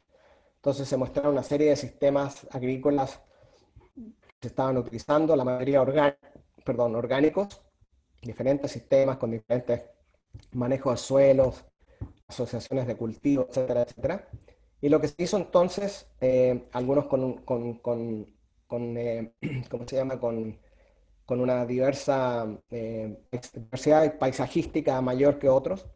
Y entonces desarrollamos una serie de indicadores, como por ejemplo la diversidad, diversidad paisajística, la diversidad de cultivo o la diversidad genética, la calidad de manejo del suelo, y se da un valor de 1 a 5 basado en ciertos criterios que los agricultores mismos iban eh, ofreciendo para desarrollar estos criterios, y ahí se le daba entonces un valor de 1 a 5. Uno, que nos estaba que la diversidad paisajística era muy baja, ¿cierto? Menos del 20% del perímetro de la finca está rodeada por una comunidad de vegetación natural y, se le ponía un valor. Lo mismo para todos estos indicadores, la salud del cultivo, la dependencia de insumos externos, si dependía mucho de insumos externos o no, las interacciones que ocurrían en el sistema, la productividad, baja, alta, media, y se le pone un valor. Entonces, aquí vemos, por ejemplo, el caso del indicador de diversidad paisajística. Se le pone un valor de 1 o un valor de 5 dependiendo de lo que, lo que se observe. Por ejemplo, de acuerdo al criterio. Más del 60% de las fincas rodeadas por una comunidad diversa de, de plantas naturales. Entonces, se le da un valor de 5. Lo mismo con, por ejemplo, evaluación de la calidad del suelo. Menos de 1% materia orgánica, el 100% del suelo no está cubierto. Se hace una serie de observaciones que, son los criterios que guían para poner el valor si es de 1 a 5. 5 es óptimo, 1 es malo. Y entonces después se miden estos indicadores. Aquí vemos eh, que de 0 a 5, ¿cierto? 2.5 sería como el umbral que nosotros llamamos. Y de todas estas fincas, muy pocas eh, pasaron el umbral. Y lo más importante aquí es identificar en las fincas cuáles son los puntos débiles. Por ejemplo, la diversidad genética en este sistema es baja, la diversidad paisajística es baja. ¿Y cómo se puede corregir eso? Eso es lo importante. Aquí hay otro grupo de agricultores, ¿cierto? Donde vemos que el azul es más, tiene mejores valores que el, que, el, otro y que este sistema que tiene ciertas debilidades habría que ver qué, qué intervenciones agroecológicas hay que hacer para superar esos valores. Y al final entonces se llega a aplicar ¿cierto? Eh, los promedios por, finca, estas son 10 fincas que se hicieron, eh, y se ve que hay algunos que están sobre 2.5, es decir, que van caminando, van bien en la aplicación de los principios, y otros que están deficientes. Entonces, algunos de estos sistemas los llamamos faros agroecológicos o fincas en las cuales se está optimizando el manejo y se desarrollan entonces visitas de estos agricultores a que vayan a visitar estos agricultores que tienen mejores valores y de esa manera crear un sistema campesino a campesino de transmisión de conocimiento, de prácticas, etcétera, etcétera. Bueno, para terminar, realmente el objetivo es crear sistemas agrícolas basados en agroecología que son la base de sistemas alimentarios sostenibles. Son sistemas en los cuales, en los cuales una equidad social, que son ecológicamente sostenibles, que crean una, una economía local vibrante, que promueven la buena salud, a través de cultivos de, productos sanos que no tengan residuos de pesticidas, que sean ricos en diversidad, de manera que haya una mejor inmunidad con mayor consumo de hortalizas, fruta, etcétera, y que sean culturalmente apropiados, por supuesto, para, para la gente. Y yo creo que en el contexto del COVID, el COVID-19 ha expuesto la deficiencia de la agricultura industrial y la fragilidad del sistema alimentario globalizado. Y la agroecología hoy en día se está posicionando incluso desde antes del COVID, ya reconocida por la FAO y otras instituciones, como una alternativa seria, viable, capaz de proveer a las familias rurales con beneficios ambientales y socioeconómicos, a la vez que alimentar a las masas urbanas en forma equitativa y sostenible. Y lo que se quiere es como transformar este sistema alimentario globalizado, corporativo, como quieran llamarlo, y que esta eh, requiere un campo importante eh, no solamente que se dependa de economías de mercado, sino más bien a una mayor dependencia de redes alimentarias alternativas que reduzcan la distancia entre productores y consumidores, al tiempo que garantizan que los alimentos sean saludables y accesibles a todas las personas. O sea, aquí la democratización del sistema alimentario yo creo que es fundamental. Y para eso entonces lo que, lo que se habla es que, bueno, estos imperios agroalimentarios que llama Van der Plug, eh, que controlan el sistema alimentario, que lo tienen estrangulado, es difícil de cambiar. Eh, lo, que se, lo, que se crea, lo que se quiere crear es un bypass, donde existan territorios autónomos con mercados locales, donde haya eh, una economía más de la solidaridad, donde las transferencias financieras ocurren, pero también hay, hay, otros aspectos que, que, son caracterizados por la economía de la solidaridad. Entonces, una lección de la pandemia es que hay que poner la producción de alimentos en manos de campesinos y agricultores urbanos para asegurar la oferta local de productos frescos, independiente de las cadenas más globalizadas que hay. Y se requiere también que los consumidores entiendan que comer es un acto ecológico político y que cuando los consumidores apoyan a los agricultores locales en vez de las cadenas globalizadas, son más vulnerables, como lo hemos visto, eh, que las redes de pequeños agricultores, estamos creando mayor resiliencia socioecológica. Entonces, una pregunta final que nos hacemos aquí es si acaso esta crisis que estamos viviendo está eh, proporcionando un ímpetu para fomentar una transición a sistemas alimentarios agroecológicos. ¿Es, deseable eso? ¿O queremos volver al sistema normal que, que existía anteriormente? Y ahora que muchas cadenas alimentarias globales no operan bien, incluso algunas están desarticuladas, no será la ocasión para fortalecer las redes locales y regionales como estrategia para manejar mejor situaciones de emergencia, incluyendo las pandemias nuevas que puedan venir, como el cambio climático y, otras, y otros desafíos, o eh, vamos a seguir dependiendo de cadenas alimentarias globales que son muy frágiles en estas, en estas circunstancias. Entonces, tenemos que escalonar la agroecología, para eso se necesita mucho el financiamiento de la investigación y la educación y la extensión. Tiene que haber políticas favorables, agrarias. Tiene que haber acciones específicas para empoderar mujeres, jóvenes, que todo el proceso, revertir el proceso de la migración, dar, eh, eh, eh, marcos de desarrollo rural integral que, que, atraigan a que los jóvenes vuelvan al campo, que hayan alianzas estratégicas entre los movimientos sociales rurales y urbanos, y que los consumidores, que somos todos nosotros, tomemos conciencia que nuestro papel es fundamental porque comer, como decíamos, es un acto político y ecológico. Bueno, yo con eso quería terminar la presentación, agradecer la atención de todos y todas y dejo al moderador entonces o moderadora que me ayude con las preguntas o las inquietudes que, que tengan o los puntos de vista porque somos todos profesionales aquí, cada uno tiene su opinión respetable, por supuesto.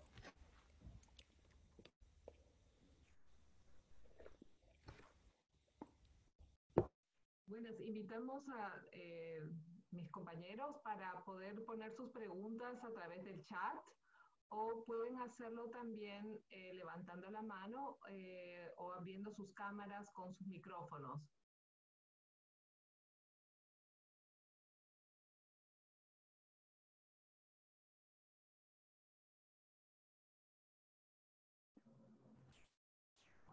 hola, hola Grace.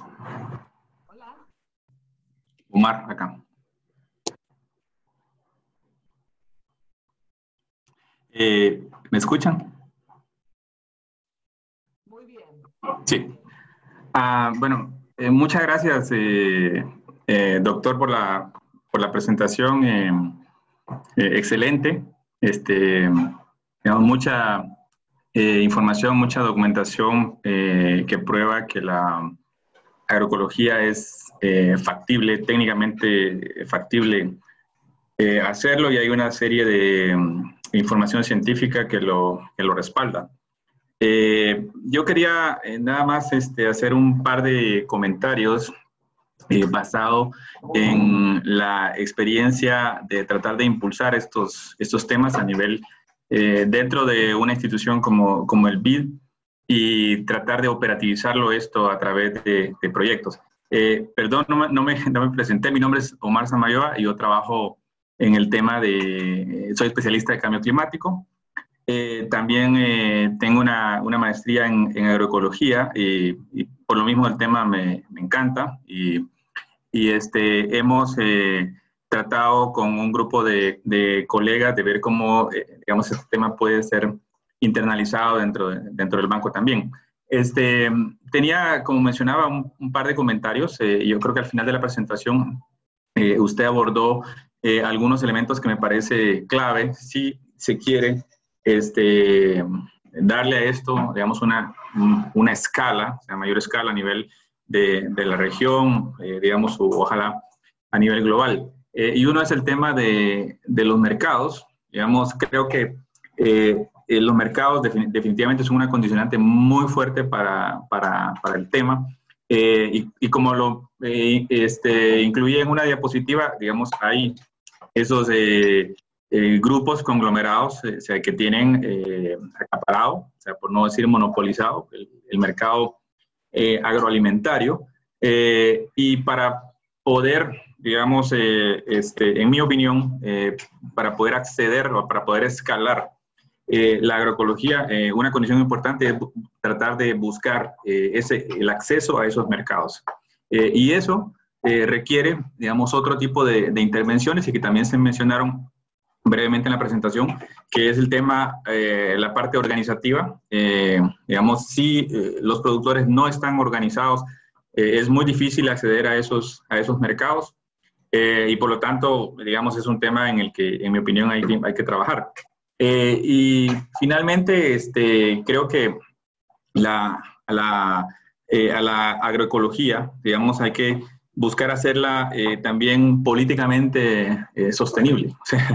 Este, lo que quiero decir con esto es que si en el caso, por ejemplo, nuestro, de hemos tenido algunas experiencias donde hemos tratado de, promover este tipo de proyectos, si no tienen un valor eh, político, o sea, político en el sentido de, eh, para ser específico, votos o sea, con los políticos, es, un es complicado, ¿no? Pero eh, hemos visto que hay formas de, de hacerlo, o sea, hemos tenido experiencias muy interesantes donde cuando se logra involucrar a estos, a, estos actores en el, en el territorio y le ven un valor político a este tipo de propuestas, entonces esto despierta interés y, y el involucramiento de ellos. Entonces, creo que son elementos que también es importante eh, considerar en el momento en que, eh, digamos, eh, se busca darle escala a ese tipo de, de iniciativa. ¿no? Y nuevamente muchas gracias por la, por la presentación y, y ex, excelente los temas abordados.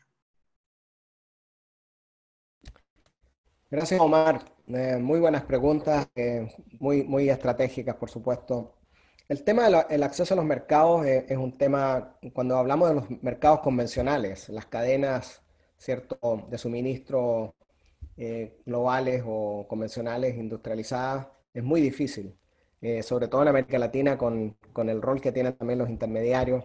es una cuestión muy difícil. Entonces, por eso que estamos hablando del bypass. Y creo que hay mucha experiencia en América Latina de mercados locales diferentes a, las ferias, ¿no?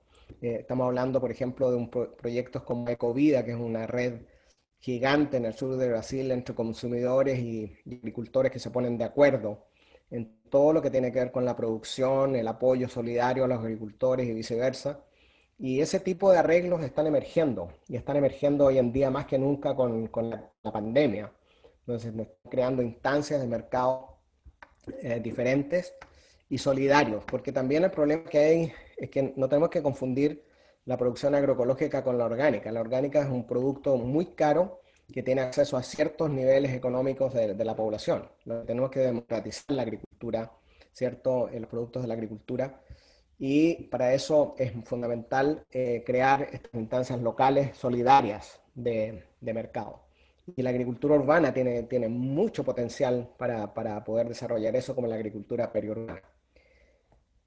La organización de los campesinos o de los productores es fundamental. Sin organización, eh, lograr la, escala que se necesita, porque si estamos hablando de proveer la soberanía alimentaria de una región, los agricultores van a tener que organizarse, como sucede, por ejemplo, con los mercados sociales o los mercados institucionales, donde, por ejemplo, en Brasil eh, existen experiencias todavía, a pesar de la situación eh, política, donde campesinos de ciertas zonas, los agricultores familiares, para, para, para los almuerzos escolares. Bueno, si, si se necesitan 50.000 almuerzos escolares diarios, por supuesto que los agricultores van a tener que organizarse para tener ese volumen y no solamente darle lechuga a los muchachos, sino que también tener que producir quesos, jamones, yogures, etcétera, etcétera. Entonces la organización a ese nivel es fundamental para lograr la escala, la cantidad, la calidad y, cierto, y, la, y, la, y la continuidad.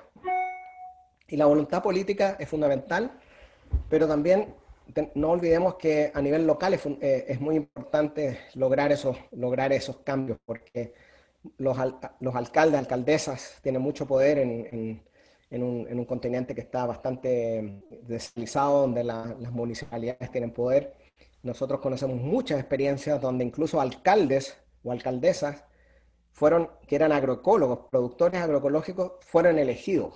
Por ejemplo, en el sur de Brasil hay varios ejemplos, también en Chile y en otras partes, donde esto, esto, estos, estos, em, estas autoridades locales, em, articuladas con los movimientos sociales rurales, fomentan ciertos cambios que son de, envergadura desde el punto de vista de los mercados, desde el punto de vista de, la producción, etcétera, etcétera.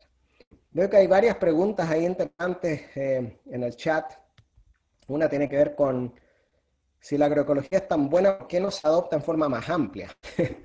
bueno, por un lado, hay muchos prejuicios contra la agroecología. O sea, la agroecología no es una ciencia que fue aceptada eh, normalmente en las universidades, en los centros académicos de investigación. Yo recuerdo cuando comencé con esto en los años, estoy hablando de los años tempranos 80, eh, al comienzo nos creían que éramos unos hippies, unos unos, eh, qué sé yo, unos comunistas promoviendo algo que, que, nadie entendía y fue rechazado. Después, la agroecología siguió creciendo, no con el apoyo institucional, no hubo inversiones de grandes, eh, ni de gobiernos e instituciones internacionales, pero siguió creciendo por, por, porque fue un movimiento de base, eh, pero también con inversión, la poca investigación que, se, que, que existía en ese momento, y, ya no nos, no nos rechazaban, sino que eh, nos atacaban. Decían, bueno, con la agroecología no se puede alimentar al mundo, con la agroecología no se, no se puede sacar de la pobreza a los agricultores, etcétera, etcétera. Y hoy en día ya la FAO y todo el mundo está hablando de agroecología. ¿ah? Hay una especie también de cooptación de la agroecología en cierto sentido porque eh, muchas, muchas instituciones nos están exigiendo resultados eh, sin haber apoyado la agroecología anteriormente. Entonces, yo creo que hay muchas barreras, hay, prejuicios. Por otro lado, hay barreras eh, que tienen que ver con la institucionalidad. La, mayoría de las facultades de economía todavía preparan eh, estudiantes basados en la revolución verde, no en la agroecología. Los mismos los centros de investigación. Hay ciertos grupos y líneas de investigación, sí, claro que, que las hay, pero son minoritarias comparado con el enfoque transgénico, el enfoque convencional. También eh, está el fuerte control, ¿cierto?, de, de, las grandes empresas que, que, muchas veces determinan las agendas, las agendas públicas de inversión. La Universidad de California, Berkeley, recibió 500 millones de dólares de la BP, de la British Petroleum, para producir eh, biocombustibles transgénicos. O sea, se compraron en la universidad básicamente. Es mi, mi institución, pero yo veo que la influencia en, la dirección de la, de la, investigación fue totalmente cambiada por esta, por esta inversión. Y eso sucede con muchas universidades, muchos centros de investigación. Entonces, yo creo que hay muchas barreras y lo más importante es de que la agroecología, con apoyo o sin apoyo político o sin apoyo institucional, ha, emergido, ha evolucionado, ha llegado al punto que ha llegado y podría llegar mucho más allá si hubiera apoyo formal, ¿cierto?, de, las instituciones de investigación, de los financiamientos, etcétera, etcétera. Y también lo que existe también es una barrera a nivel de las instituciones. Hay muchas instituciones que quieren hacer agroecología, ministerios de agricultura, institutos de investigación, pero, pero la gente está formada en la revolución verde, entonces hay que hacer una capacitación del personal nuevamente. Y eso, no, porque no es llegar y adoptarla, no es una receta, es una nueva manera sistémica de mirar con nuevas herramientas, con nuevos tipos de análisis, y hay que hacer una capacitación. Bueno, eh, alguien me dice si existen estudios económicos de la producción agroecológica eh, en comparación con los monocultivos, eh, ¿por qué se necesita de una concientización de los consumidores de una economía de la solidaridad? Eh, no es posible promover la agroecología por la economía comercial. bueno, primero que nada, sí hay muchos estudios que están comparando la, la producción agroecológica en comparación con la producción de monocultivo, pero no utilizando solamente eh, los, típicos indicadores macroeconómicos, microeconómicos. Hay muchas maneras de medir la sostenibilidad, la resiliencia, eh, la eficiencia ecológica, las huellas ecológicas, todos estos indicadores que nos dan una visión mucho más holística. ¿no? Porque una cosa es decir cuánto produce maíz por kilo, eh, cuántos kilos de maíz produce por hectárea versus cuántos kilos de maíz produce por hectárea por unidad de agua, por ejemplo, o por unidad de fertilizante ahí ya entra un análisis un poquito más profundo. Entonces, todo lo que tiene que ver con eh, la ecología económica y una serie de herramientas, eh, yo creo que es importante. O sea, no estoy negando que el análisis económico estricto convencional hay que hacerlo, pero también hay unos indicadores que traen a la vista otras dimensiones que muchas veces la economía convencional, en mi opinión, no mide. Eh, hay que concientizar a los consumidores porque la mayoría de los consumidores ni siquiera saben dónde viene la comida. En Estados Unidos han hecho estudios que los niños, el 90% de los niños creen que la, que, la, que la, que la leche la leche de chocolate viene de vacas cafés. Y esto no es broma, son estudios que se han hecho. ¿Ya? Entonces, eh, por supuesto que tenemos que saber de dónde viene nuestra comida, cómo se produce nuestra comida, cuál es el impacto ecológico que tiene producir la comida, porque muchas de las crisis ecológicas que estamos sufriendo en este momento están muy relacionadas con la manera como como producimos la comida. O sea, el COVID-19 está directamente relacionado con eso. Entonces yo creo que mientras más la gente, los consumidores y consumidoras, que somos todos nosotros, entendemos todo esto, yo creo que las elecciones que vamos a hacer podemos influenciar como consumidor la, la dirección de una agricultura que sea más sana, que sea equilibrada, etcétera, etcétera. Doctor, muchísimas gracias. Hay varias personas que tienen la mano alzada. A ver si pueden, por favor, abrir su micrófono. En este caso, vamos a dar primer paso a la Linda Salazar, por favor. Eh, sí, buenas tardes. Muchas gracias, Miguel, por la presentación, que estuvo muy interesante, la verdad. Eh, tengo dos preguntas eh, bastante específicas. La primera es, en general, se habla sobre el crecimiento de la población que va que va a presentarse de manera desmedida, eh, hay como está un poco de, de, miedo, o no sé si fundamentado o no, sobre el hecho que no va a alcanzar la comida en algún momento y que por esto hay que aumentar la productividad eh, de manera importante eh, y incluso se ha dado cabida a todo lo que son los, los cultivos modificados genéticamente. ahorita con la tecnología de CRISPR, por ejemplo, ¿cuál es la visión de la agroecología con respecto a a esto, eh, sobre todo el tema de los cultivos eh, modificados genéticamente. Y la segunda pregunta que tengo es, usted mencionaba el tema de las políticas habilitantes. ¿Hay algún ejemplo que nos pueda dar más específico de algunas políticas que se hayan implementado, que hayan sido exitosas para, ya sea para, para, para expandir el modelo agroecológico o para, para, para que algunos, lo, algunos campesinos lo adopten? Sí, muchas gracias, eh, Lina, muy interesante la pregunta. Bueno, el tema, el tema de la, de la agroecología versus a si puede o no alimentar a la población humana eh, es un tema que, que hay que de alguna manera explorar los mitos que tienen que ver con la visión martusiana del problema del hambre, ¿no? que muchas veces se, se constó principalmente con la Revolución Verde, que el problema del hambre era un problema en que la, la población humana crecía exponencialmente y la producción de alimentos no lograba eh, eh, eh, alcanzar ese crecimiento y esa brecha que, que, existía entre producción y población era lo que explicaba el hambre y para eso había que traer tecnologías del norte al sur y se crearon los centros internacionales y se aumentó la reunión. Bueno, el hecho que hoy en día eh, estamos ya en casi un billón de personas con, la pandemia y ahora de, gente con hambre, y yo creo que es un tema que se debate muchísimo, pero en mi opinión estoy convencido que el hambre es un problema que no tiene nada que ver con producción, sino más bien con problemas de pobreza, con problemas de acceso a la tierra, problemas estructurales de distribución, etc. ¿Mm? Y En Estados Unidos, por ejemplo, un país que es rico, existen más de 40 millones de personas que, son, que tienen inseguridad alimentaria y hay 2 millones de personas que son hambrientas. Eh, entonces, no es que sea un problema de, de, escasez, sino que es un problema más bien eh, político-económico. Y también tenemos que considerar que mucha comida se está, se está botando. En Estados Unidos se, se botan aproximadamente 115 kilos por persona de comida por año. Y hoy en día, que estamos en la pandemia, eh, mucha comida se está botando porque resulta que mucha de la comida que se producía en Estados Unidos, por lo menos, iba para restaurantes, para hoteles, para, para estadios, para esto, para el otro, y todos, esos mercados están cerrados, entonces toda esa comida eh, que se producía para esas industrias eh, hoy día se bota. Entonces, yo creo que en ese sentido tenemos, que, tenemos que analizar en forma mucho más amplia. No estoy negando de que hay que, de que, hay que elevar la producción, pero no es una condición suficiente, es una condición necesaria, pero no suficiente para resolver el, problema del hambre. Y por otro lado, bueno, los cultivos transgénicos en este momento, eh, no existe una hectárea de maíz transgénico que está alimentando a una persona pobre hambrienta. O sea, uno de los mil millones de personas que están hambrientos hoy en día nos están beneficiando con los cultivos transgénicos. ¿Por qué? Sencillamente porque 50% de la producción transgénica, tanto de soya como maíz, va por un lado para alimentar animales y por otro lado para alimentar carros por los biocombustibles.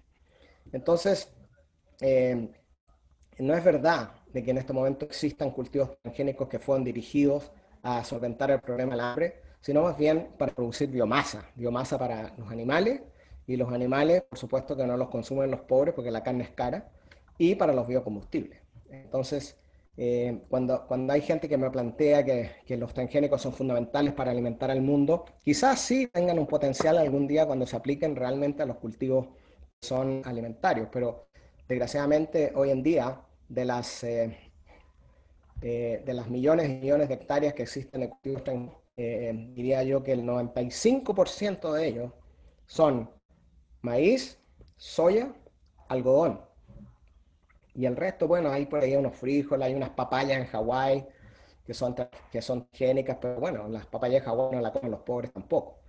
Entonces, yo creo que es un tema muy debatible, he estado participando en muchos debates sobre este tema, y a mí lo que me importa no es tanto eh, criticar los transgénicos, eh, sino que más bien eh, involucrarme en las alternativas que funcionan. Y lo que, lo que estamos buscando en este momento son realmente soluciones que sean prácticas y que alcancen realmente a la gente que la necesita, a los, a los, productores pobres y a la gente pobre que son los consumidores que están sufriendo las consecuencias de la pandemia. Tenemos otra, otra pregunta del señor Nicolás Pasos. ¿Puedes abrir tu micrófono, por favor, Nicolás? Sí, hola. Eh, primero que nada, muchas gracias por la presentación. Eh, ha estado muy, muy buena. Bueno, la, la clase, ¿no? Esto es una clase casi. Este, yo tengo dos preguntas que en verdad parten de lo mismo un poco. Y es que en un momento eh, se mencionó que los costos iniciales para, para implementar la infraestructura de, de, de, la agroecología eran bastante altos, pero que luego claro que eso sí a, a ir a tender a caer por, porque el mantenimiento iba a ser más barato y en el tiempo, ¿no? como es autosostenible, digamos, los costos se, se reducían. Pero al mismo tiempo se ha hablado, eh, o hemos, digamos que hay una barrera como cultural o un poco de información que las personas quizás no, no saben que de esto o, o, había un rechazo por temas políticos, como mencionaba usted antes. Eh, mi pregunta es si la barrera es, ¿cuál, ¿cuál sería la barrera principal? Digamos, ¿es económica? ¿Es que quizás la, no, digamos, eh, no hay forma de acceder a ese tipo de tecnologías, entre comillas, eh, o bueno, tecnologías, ¿no? ¿Por un tema económico o, o, es más una barrera cultural? ¿Cómo es que habría que aproximarse para, para hacerlo más, más válido? Eso más, digamos, más factible, más, más, más, más posible de, de hacerse. Esta es la primera pregunta. La segunda pregunta que viene un poco de la mano es, eh, digamos, al final estamos hablando de una ciencia, de, de una tecnología, de, una, de un conjunto de tecnologías o de prácticas. Eh, y mi pregunta es si para todas las prácticas son estos costos igual de altos, si quizás hay algunas prácticas en particular que son más fáciles de implementar y que van a tener retornos más, más eh, eh, altos o más, más costo eficientes en el, en el, tiempo y en el corto plazo. Y, y, y, por otro lado, qué tan importante es implementar realmente todas estas prácticas y pasar a un modelo eh, de agroecología, digamos, eh, ¿cuál es la palabra? Comprensivo, ¿no? Que, que, que, que, comprenda todas las, todas las prácticas mencionadas. Y esa es un poco mi pregunta. Gracias. Bueno, muchas gracias por, la, por las preguntas, eh, Nicolás. Bueno, cuando yo me refería a los costos iniciales, es cuando nosotros estamos pasando de un monocultivo convencional, que estaba manejado en forma de monocultivo con, con, con, insumos externos, etcétera, y crear una infraestructura ecológica de a poco que vaya creando entonces los sistemas agroecológicos. Eh, cuando tratamos de sistemas campesinos, muchas veces los sistemas campesinos ya están diversificados, ya tienen maíz, frijol, tienen su, tienen su lógica activa diversificada y, esos costos iniciales de, desarrollar la infraestructura son mucho menores. Eh, depende del estado inicial de la finca. Si agarramos un campo como ese de soya que les mostré, cierto que fue transformado en un sistema de larga escala en Argentina agroecológico, ahí los costos fueron enormes, por supuesto.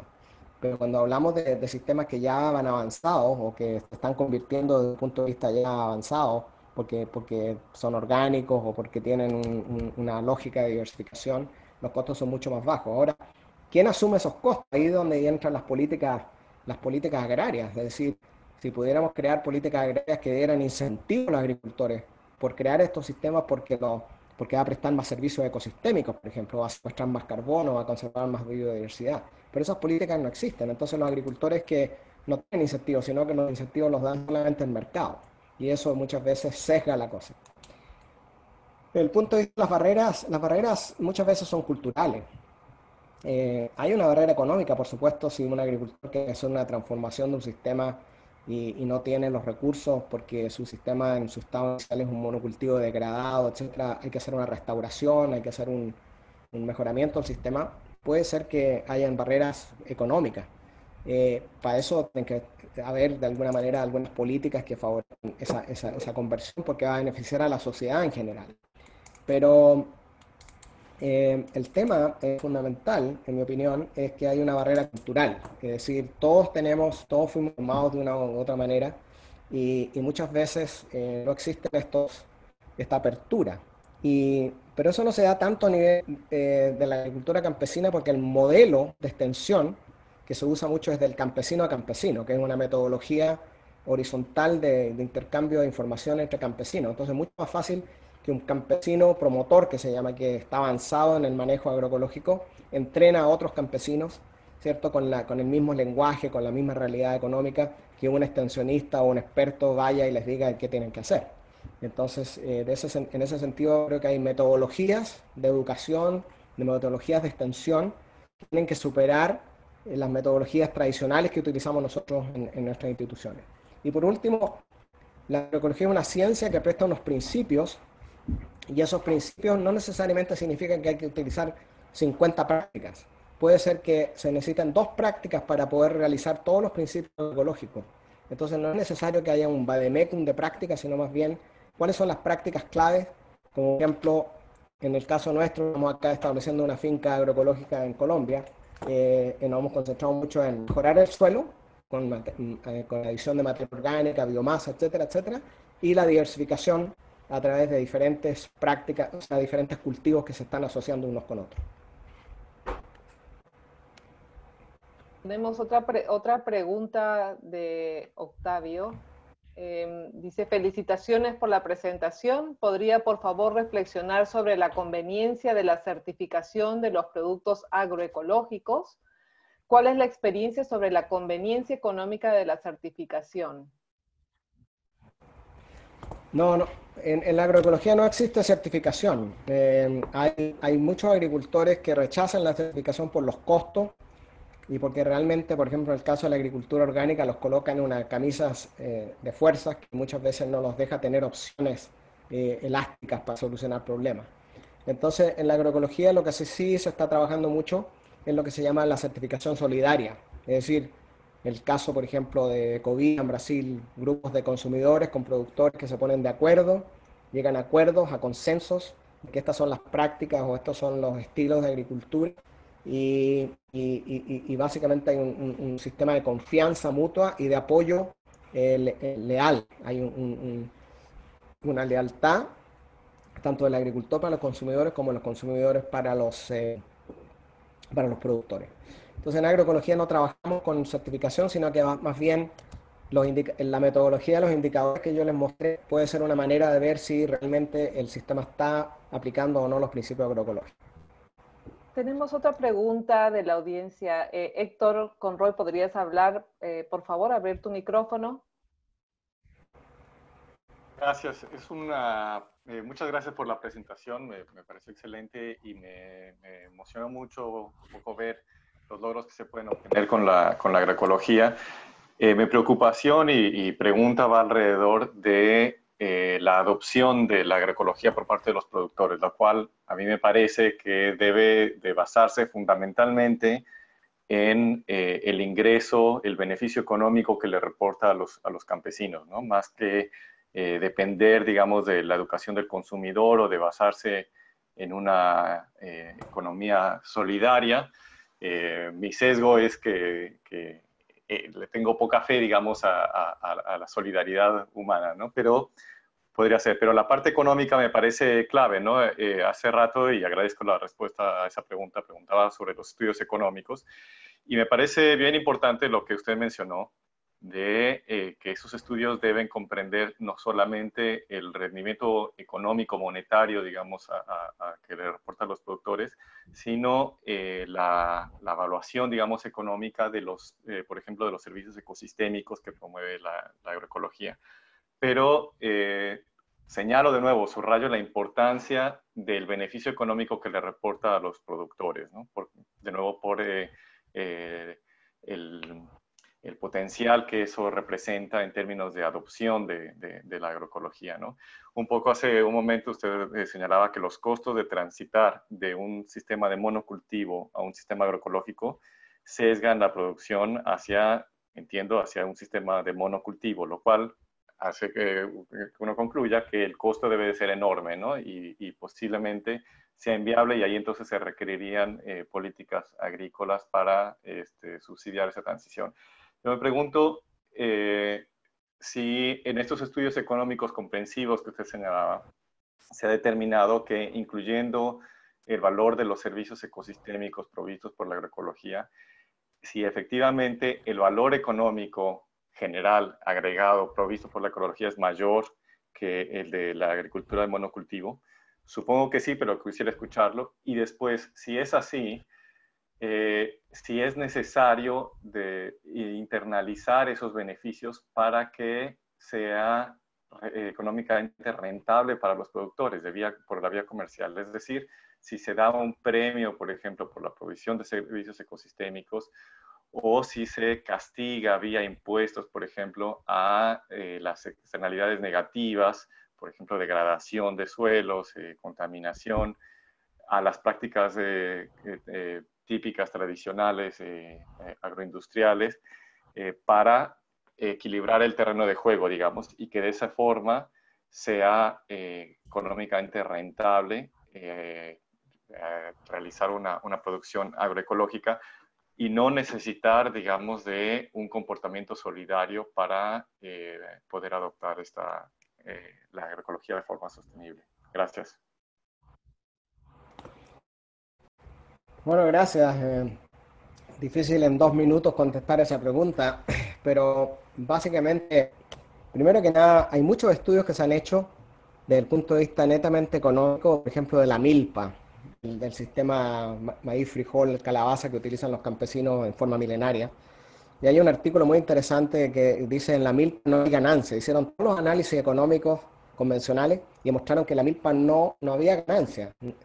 ¿Y qué, pasaba? Que hay otros factores culturales eh, mucho más profundos. Hay una resistencia cultural y lógica de los agricultores de mantener esos sistemas, porque están, tan ligados a su, a, su, a su identidad cultural y una serie de otros factores. Entonces, no siempre usted hace un análisis de un sistema campesino y encontrar que sea más rentable, sino que hay, hay otras razones que muchas veces los agricultores entienden mejor y por eso tenemos que, hacer un análisis más profundo por qué existe el sistema. Eh, segundo, con la agroecología, muchas veces los agricultores quizás no ven el retorno económico directo así en dinero, pero cuando los costos de producción se pueden bajar en un 50% y cuando la familia produce el 90% de sus alimentos, están haciendo un ahorro enorme, pero no lo ven en forma física en las ganancias, el beneficio económico en forma de dinero, sino que lo ven de otra manera. Y yo creo que es muy importante que si nosotros internalizáramos los costos de la agricultura, eh, yo diría que en Estados Unidos eh, ninguno de los agricultores convencionales estarían en business, porque por un lado todo lo que son los subsidios, si cortáramos los subsidios de la agricultura y por otro lado internalizáramos los costos ambientales, la degradación de suelo, la producción de gases invernadero, etcétera, etcétera, lógicamente que esos agricultores realmente no estarían en la posición que están en este momento. Y por último, eh, yo creo que los servicios ecosistémicos hay mucho todavía que hacer. O han hecho estudios que demuestran que los sistemas tienen más biodiversidad, tienen más materia orgánica en el suelo, tienen menor erosión, todos esos estudios existen. Se podrían traducir en dólares también, los hay en Economía Ecológica, el Journal of Ecological Economics está lleno de artículos de ese tipo. Lo que pasa es que no hay políticas que transfieran esos dineros para los campesinos. Lo único que en este momento existe son los, mercados carbono, pero los mercados carbono realmente eh, todavía tienen mucho que, progresar y no están beneficiando a la gran cantidad de agricultores campesinos. Muchísimas gracias. Eh, tenemos una última pregunta de Eugenia Zaini. Estamos tomando nota en el chat de todas las preguntas eh, para el doctor Altieri. Eh, pero tenemos eh, ya justo el tiempo, entonces vamos a aceptar la última pregunta, por favor, eh, de Eugenia, para poder posteriormente pasar al break. Gracias. Hola, Miguel. Em, em, muchas gracias por la presentación. La verdad que fue un placer escucharte y, pasear un poco por todos esos conocimientos que al menos uno los vio hace muchos años atrás y, ahora sí cobraron este, más importancia. Eh, yo estoy trabajando ese tema con la gente de la Universidad de Buenos Aires, de la UBA, no sé si, vos los, los conocés, y nosotros este, lo que estamos analizando y estamos viendo que eh, también hay que desmitificar un poco el tema de la agroecología porque no es tan fácil hacer la transformación de los sistemas productivos y hacerlo en un sentido integral. O sea, nosotros sabemos que hay conocimientos por demás, pero hay factores culturales y que también depende de la escala del productor, que hacen que muchas veces eh, no sea tan fácil eh, para los productores incorporar eh, estos conocimientos y lograr esas mejoras. Y además estamos en el entendido que esas mejoras que se plantean en, los potreros o, dependen también del tiempo. Algunas requieren más tiempo que otras y por tanto los resultados no se pueden ver en el corto plazo y entonces sí hay que este, trabajar con, la gente de campo para que este, entienda que, bueno, que va a haber mucho que, tiene que ver con, esperar el tiempo, ¿no? Y yo creo que, ahí es donde viene un poco el problema, porque los productores hoy tienen una mirada cortoplacista por las necesidades puntuales que tienen, eh, y al mismo tiempo, este, a un nivel más macro, tenemos otras necesidades que son más de largo plazo y que son aquellas que impactan el territorio y el paisaje, eh, y es donde por ahí el tema de agroecología se ve manifestado un poquito, un poquito más. Así que no sé una pregunta, pero sí quería escuchar un poquito de tu lado la opinión. Sí, muchas gracias Eugenia y saludo a todos los, los colegas y las colegas de la UBA. Mira, eh, realmente tienes razón, o sea, por un lado, eh, hay un proceso de conversión que puede demorar 3 a 5 años, depende del estado inicial de la finca. Si es una finca muy degradada, que tiene suelos degradados, fue monocultivo con mucho pesticida y residuos, etcétera, todo eso va a demorar tiempo. Lo que pasa es que muchas veces se puede hacer la conversión, no de toda la finca, sino parte de la finca. Comenzar con una conversión progresiva, de manera de que el agricultor eh, tenga que sacrificar dedicar toda la finca a una conversión agroecológica, sino parcialmente. Yo creo que las barreras que, existen eh, son reales, eh, hay, hay, falta de incentivo económico, ya lo dijimos, pero también yo, yo, creo que depende mucho de la pedagogía, la pedagogía de cómo se haga la extensión, de cómo se haga este proceso de, de transmisión. Por eso que nosotros favorecemos tanto el modelo campesino a campesino, que está mucho basado un poquito en lo que hablaba Paulo Freire, cuando él hablaba de sus pedagogías de los oprimidos. Hay muchas cosas ahí, muchos elementos de que tenemos que eh, comprender nosotros que, que, no hemos trabajado con esa filosofía, porque es un camino que abre eh, eh, espacio para diferentes, con diferentes modos de comunicación, de educación, de, comunicación, que nos permita llegar a, a estos sectores y abrir aquí, porque realmente la barrera está aquí, no es una barrera así física, sino más bien mental.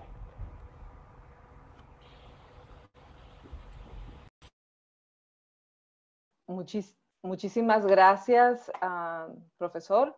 Realmente que ha sido un placer escucharlo. Creo que todos nuestros compañeros están eh, muy ávidos para seguir con preguntas, pero el tiempo nos limita. Pero vamos a mantener su, el archivo del chat y vamos a, después posteriormente hacerle un follow-up a esta información. Entonces, con esto vamos a tener eh, unos minutos de break eh, vamos a estar de regreso a las 6 y 10 pm. Eh, así es que los esperamos, tómense un cafecito, una manzana, una fruta, estiren las piernas y nuevamente muchísimas gracias. Nos vemos a las 5 y 10. Perdón, 5 y 10 de la tarde, 5 y 10. Muchas gracias, muy amables a todos y todas por Nos vemos nuevamente el jueves en las conclusiones del curso. Muchas gracias.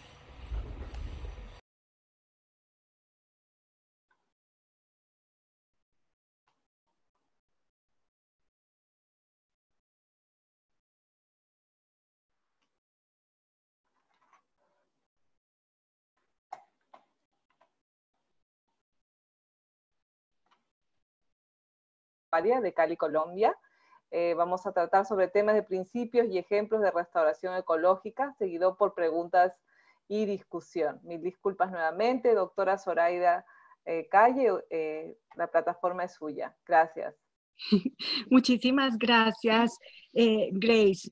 para comenzar, quisiera felicitar al, al BID por esta iniciativa de tener un curso semi-intensivo sobre agroecología. Esto realmente revela una, una apertura de pensamiento eh, muy grande que nos, nos, eh, nos, sorprende muy favorablemente. Entonces, eh, quiero compartir con ustedes em, algunos Em, una combinación de, elementos teóricos y muchos ejemplos prácticos sobre restauración ecológica y su interrelación con la agroecología. Eh, quiero comenzar por definir la restauración, que es el proceso de asistir o apoyar la recuperación de un ecosistema que ha sido degradado, dañado o destruido. Y esto se hace para restablecer los valores sociales o humanos que los ecosistemas pueden proveer. Restauración también es cualquier actividad intencional, ahí la palabra intencional es muy importante, que inicia o acelera la recuperación de un ecosistema con relación a su salud, integridad y sostenibilidad. La restauración ecológica extiende la corriente filosófica de la ética o del cuidado hacia la relación entre los seres humanos y la naturaleza. La restauración se basa en dos suposiciones fundamentales. La primera es que muchas de las fuerzas que causan la degradación de los ecosistemas son temporales. Y la segunda es que una, una proporción de, de, esas pérdidas que hemos sufrido en términos de hábitats y de poblaciones silvestres es reversible. Entonces, la restauración busca reparar aquello que pueda ser eh, reparado y garantizar la suerte futura de los hábitats y poblaciones sobrevivientes. La restauración también busca que los ecosistemas regresen a lo que se denomina su trayectoria histórica.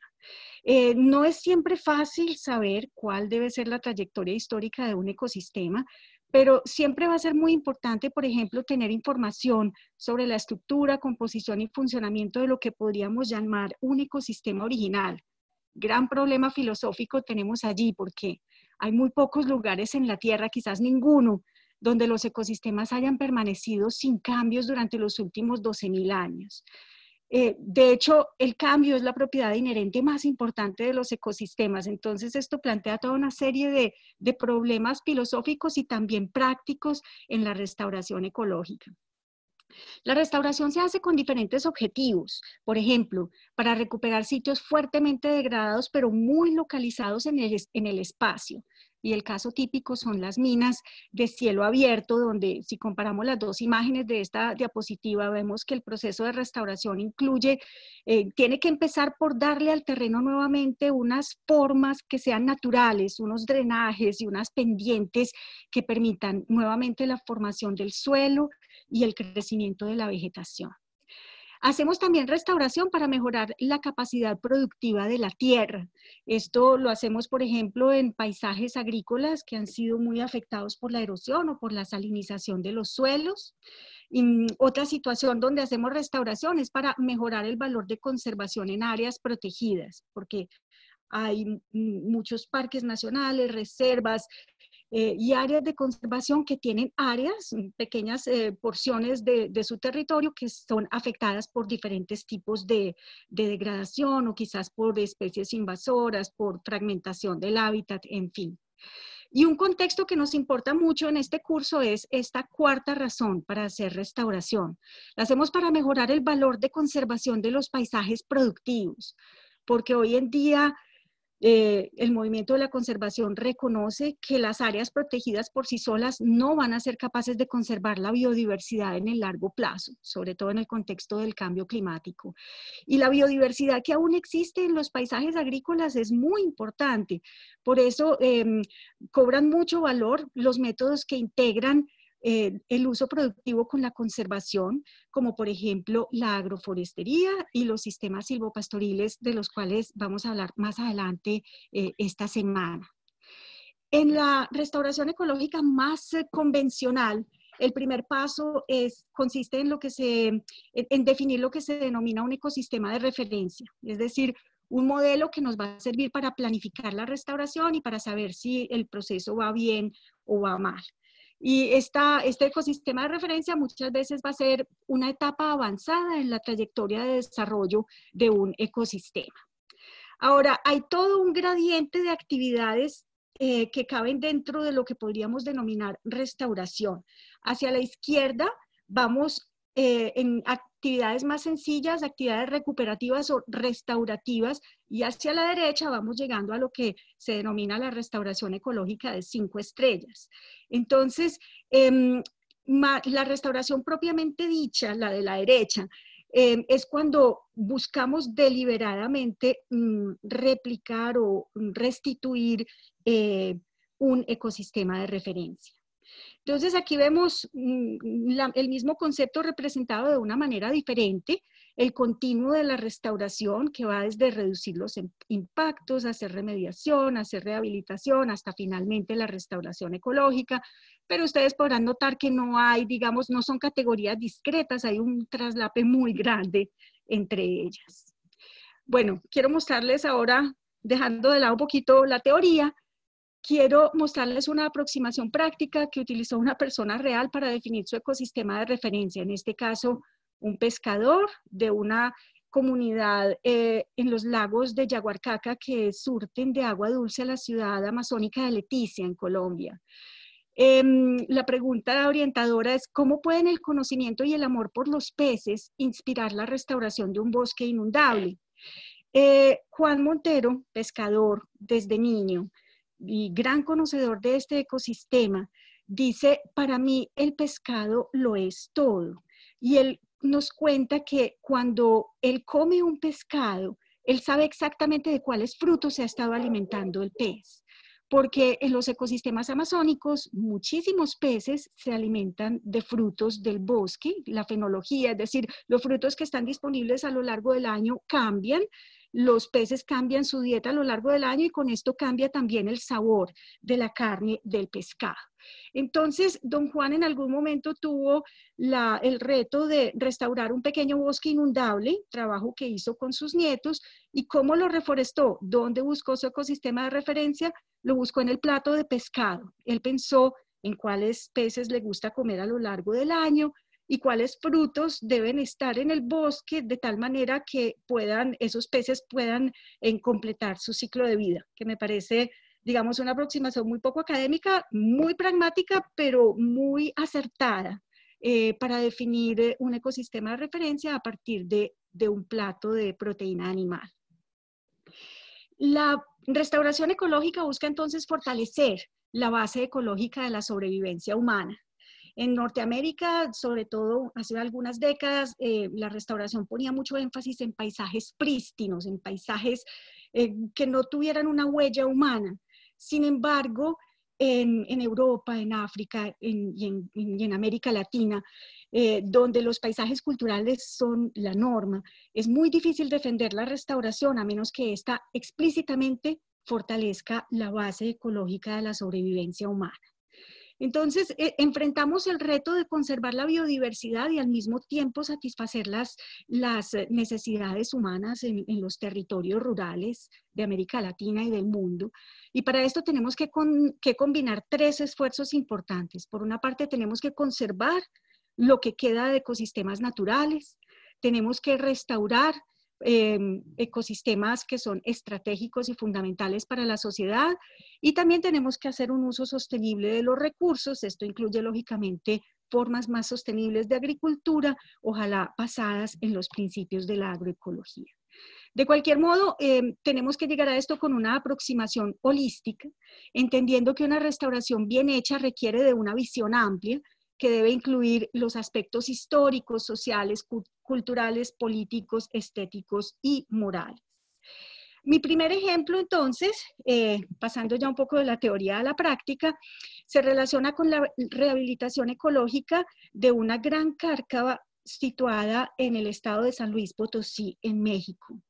México, como otros países de América Latina, tiene un fuerte problema de degradación de los suelos, y de avance del desierto. Es un país eh, también, como muchos otros, muy vulnerable a los efectos del cambio climático.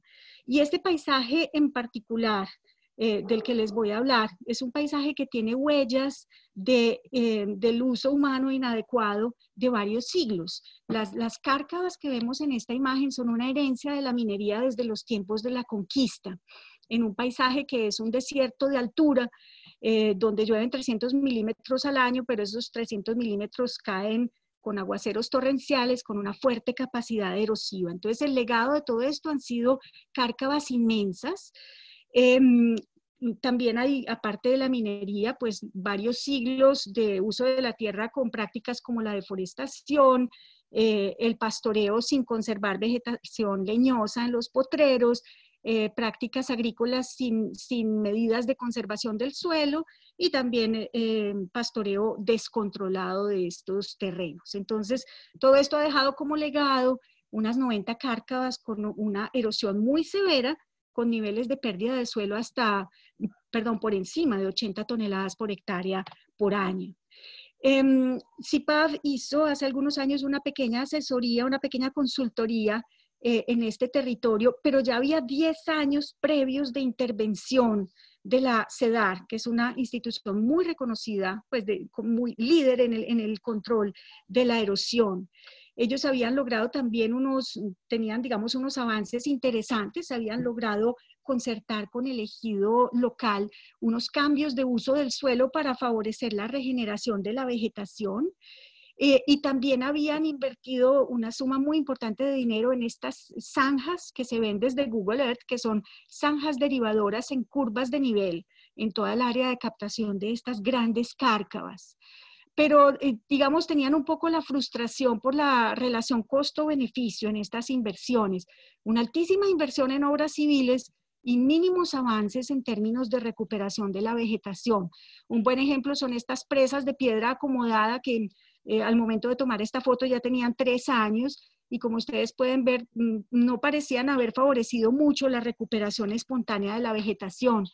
Lo mismo que estos enchapes de piedra en la zona, en el remonte de las cárcavas, tres años después, sin vegetación.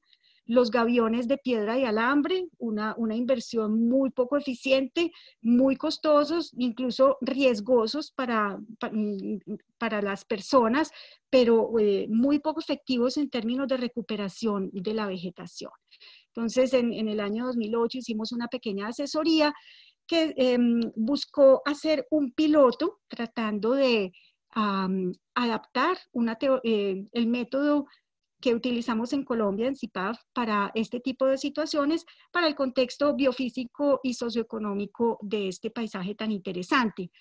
Em, muy difícil el reto porque no, no, existían las plantas con las que siempre trabajamos en los ecosistemas mucho más húmedos y tropicales de Colombia. Entonces, Em, para identificar las plantas que debíamos utilizar en este proceso de restauración, nos eh, em, eh, buscamos eh, el conocimiento ecológico tradicional, el conocimiento de los campesinos que han vivido y conocen muy bien este paisaje. Ellos fueron eh, hombres y mujeres quienes nos ayudaron a identificar las especies adecuadas para este proceso y nos señalaron especies también de mucho valor cultural y económico como las cactáceas, que producen frutos comestibles también de, buen valor comercial.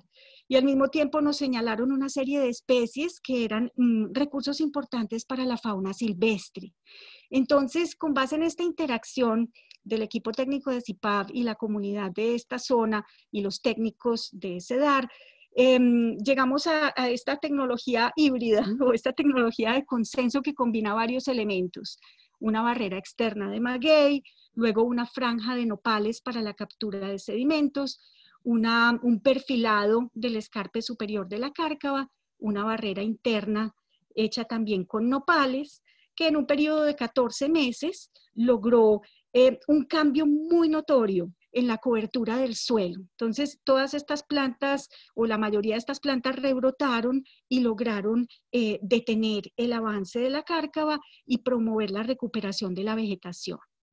La comunidad local tenía una experiencia de muchos años en la construcción de barreras de piedra pero nunca, de pronto lo que nunca hicieron fue integrar plantas en estas barreras de piedra y esa fue, digamos, la contribución de CIPAP, sugerir integrar las plantas dentro de la misma tecnología que ya existía en la localidad. Entonces de aquí surgió la barrera de piedra y nopal, que también en un periodo de 14 meses mostró ser, digamos, muy efectiva para promover la recuperación de la vegetación y la cobertura del suelo en este sector, em, como vemos acá.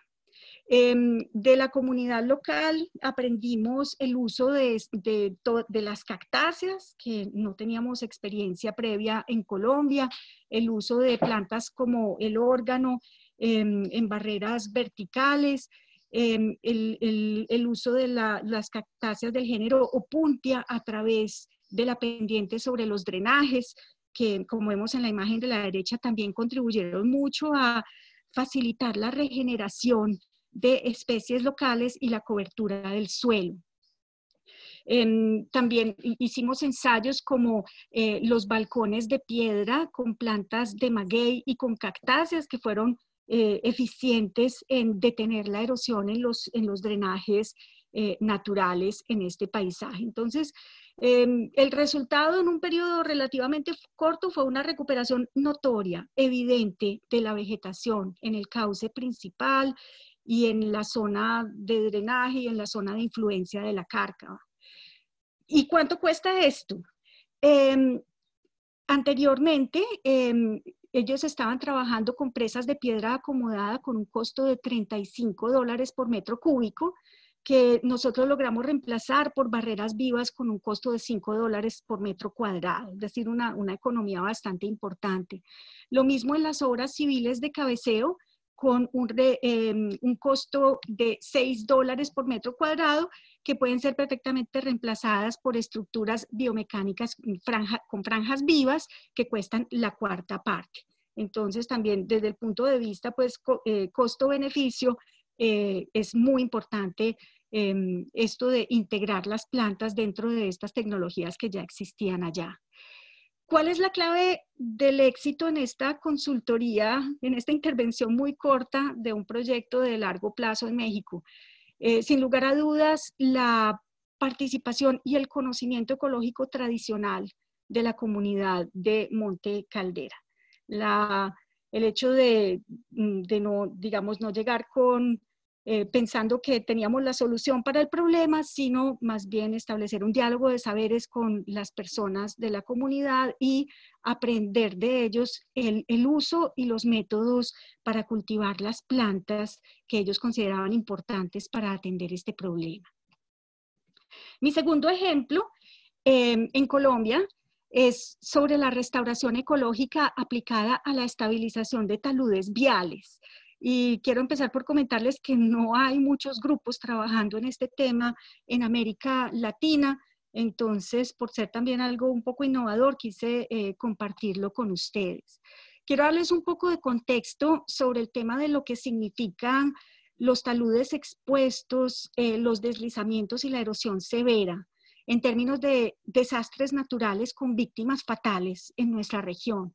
Cada punto en este mapa representa un deslizamiento que ha dejado víctimas fatales entre los años 2004 y 2013. Y ustedes pueden apreciar una nube muy densa de puntos sobre la región andina colombiana, quizás la mayor nube de todas. Esto se asocia al riesgo sísmico, lógicamente, eh, pero esto es el resultado de la coincidencia de tres factores principales, que son pendientes fuertes, lluvias torrenciales y alta densidad poblacional. Esa es la receta perfecta para los deslizamientos con víctimas fatales. Ahora, pensando un poco en términos de nuestra infraestructura vial, todos los focos de erosión severa alguna vez fueron pequeños, pequeños deslizamientos que hubiéramos podido intervenir eh, a muy bajo costo, pero si dejamos que avancen, pueden llegar a tener consecuencias catastróficas. Su costo de intervención puede llegar a ser extremadamente alto. Entonces, por esto es muy importante atenderlos oportunamente. Em, el trabajo que les voy a mostrar eh, lo llevamos a cabo en convenio con la gobernación del departamento de Antioquia. Em, y el trabajo de CIPAB en este proyecto se enfocó en la estabilización biomecánica de taludes. Antioquia, para quienes no conozcan, es un departamento colombiano muy montañoso, caracterizado por las pendientes fuertes, la alta densidad poblacional y la infraestructura vial muy vulnerable a los deslizamientos. Entonces, en términos de la Secretaría de Infraestructura Física del departamento, el problema central que ellos querían atacar con este proyecto era la baja sostenibilidad y, durabilidad de las construcciones, eh, perdón, de las soluciones constructivas y de estabilización en puntos críticos y tramos viales, asociadas a la obsolescencia y escasa pertinencia de las alternativas convencionales en el departamento.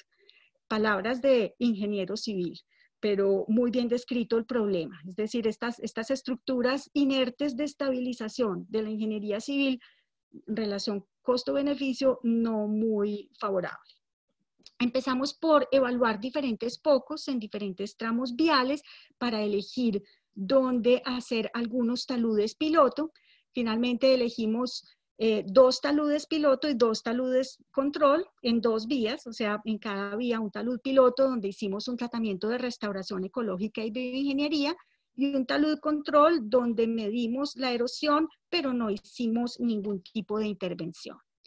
Ahora, la estrategia eh, usa, se basa en obras de bioingeniería. Son estructuras que estabilizan, ayudan a estabilizar el suelo y que se elaboran principalmente con dos plantas que son la guadua angustifolia, un bambú gigante, y un árbol eh, llamado arboloco. Esto se combina con la siembra de plantas en muy alta densidad y con un proceso de restauración con una técnica denominada regeneración natural asistida. Entonces, las dos plantas que mejor funcionan en este contexto para hacer las estructuras biomecánicas son la guadua a la izquierda y el arboloco a la derecha. Em, este tipo de trabajo tiene un componente importante de fortalecimiento de capacidades. En este caso, 18 trabajadores de campo recibieron la capacitación en técnicas de bioingeniería y restauración y siete de ellos recibieron una certificación para el trabajo en alturas, con lo cual sus ingresos automáticamente se triplican por tener eh, esta certificación. Esta es la ubicación del talud que les voy a mostrar. Esta es un paisaje donde vemos muchísimos deslizamientos que son el resultado no solo de la inestabilidad geológica y del corte de laderas para abrir vías, sino también son el resultado del uso inadecuado de la tierra y muy específicamente del cambio en el método de cultivo del café. Este paisaje más o menos resistió estable cuando el café era agroforestal, con sombrío de árboles profundos, pero la transición hacia el café de sol ha sido fatal eh, en, los paisajes de las, de las zonas más, mm, con pendientes más fuertes en Colombia. Eh, con justicia deberíamos llamar a este tipo de café café de subsuelo, porque el agricultor dueño de esta finca perdió completamente eh, la capa orgánica y productiva de su finca. Entonces, el sitio que atendimos a través de este proyecto es un talud em, muy alto, eh, muy pendiente, casi vertical. Si vemos los dos óvalos rojos, allí están los postes de la energía y vemos una inclinación de estos postes. Esto revela un proceso de reptación, es decir, un deslizamiento lento. El deslizamiento lento en cualquier momento se puede hacer rápido eh, y el factor detonante que se necesita para esto es un aguacero torrencial. Entonces aquí trabajamos con estructuras de guadua mm, profundamente empotradas en un sustrato estable. Ah, hicimos un vivero donde produjimos un enorme número de plántulas para revegetar un área muy pequeñita. Eso quiere decir, eso es lo que significa la siembra en alta densidad, muchísimas, muchísimas plantas. Y en la zona de influencia eh, hicimos regeneración natural asistida para acelerar el crecimiento de una vegetación con una fisionomía de bosque.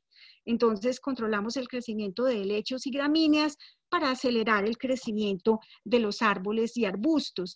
Y al hacer esto, entonces, en, en un periodo relativamente corto, siete meses, ya podemos tener una vegetación que tiene la fisionomía propia de un bosque joven en sus primeras etapas de desarrollo.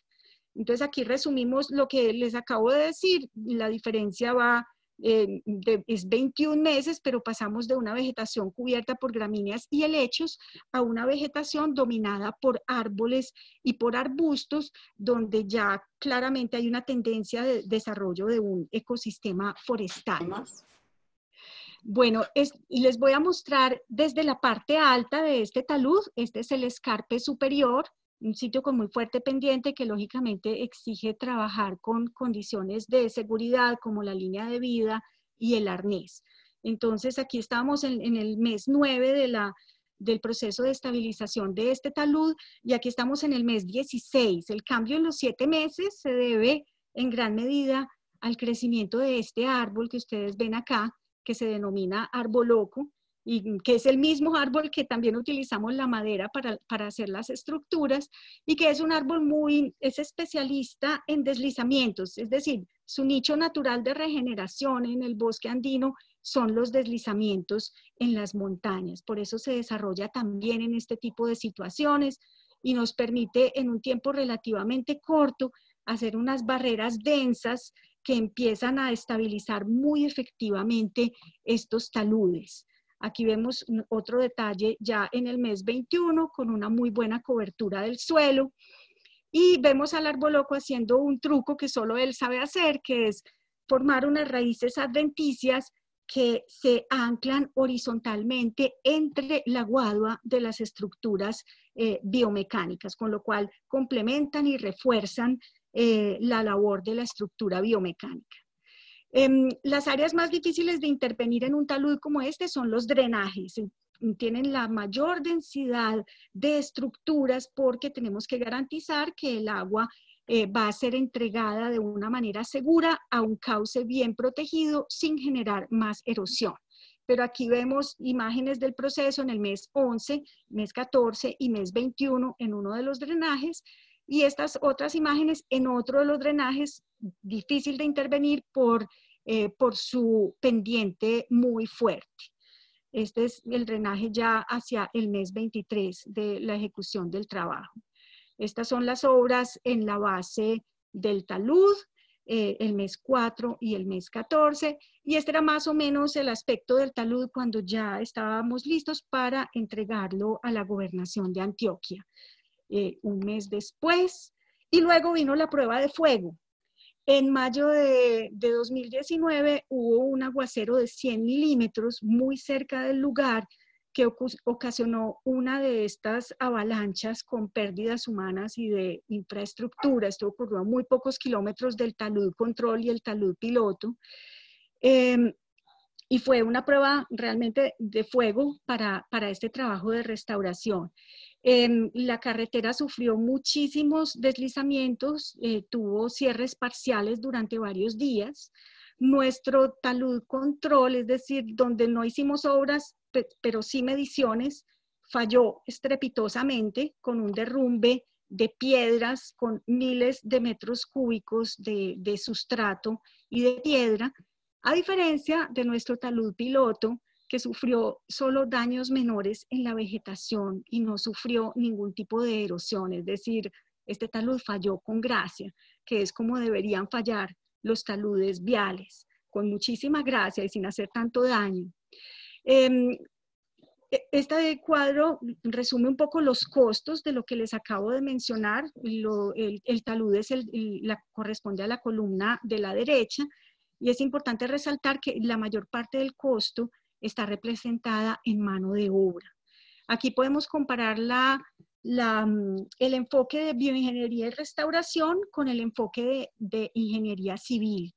Entonces, eh, la cotización de ingeniería civil era de 327 mil dólares para atender este, este talud enorme, eh, pero en este caso el costo de, restaurar un área mucho mayor fue de 117 mil. El costo de bioingeniería y restauración es de 9 dólares 86 centavos por metro cuadrado comparado con 41 dólares 70 centavos para las estructuras de la ingeniería civil. Entonces, podemos decir que este tratamiento de restauración mm, devuelve la estabilidad y también mejora la estética de estos taludes viales muy problemáticos. El talud control falló, como les dije, en forma catastrófica, pero el talud piloto falló con gracia, mostrando solo daños menores en la vegetación. Y un año después de terminar el proceso, el talud estaba completamente estable y cubierto de vegetación. Hoy en día quien pasa por esta carretera lo único que ve es un bosque y no puede identificar dónde existió alguna vez el talud que, que ocasionaba los cierres de la vía dos veces al año por lo menos. Eh, para terminar este ejemplo, una frase de la doctora Robin Kimmerer, quien dice que amar un sitio no es suficiente, debemos encontrar formas de sanarlo o restaurarlo.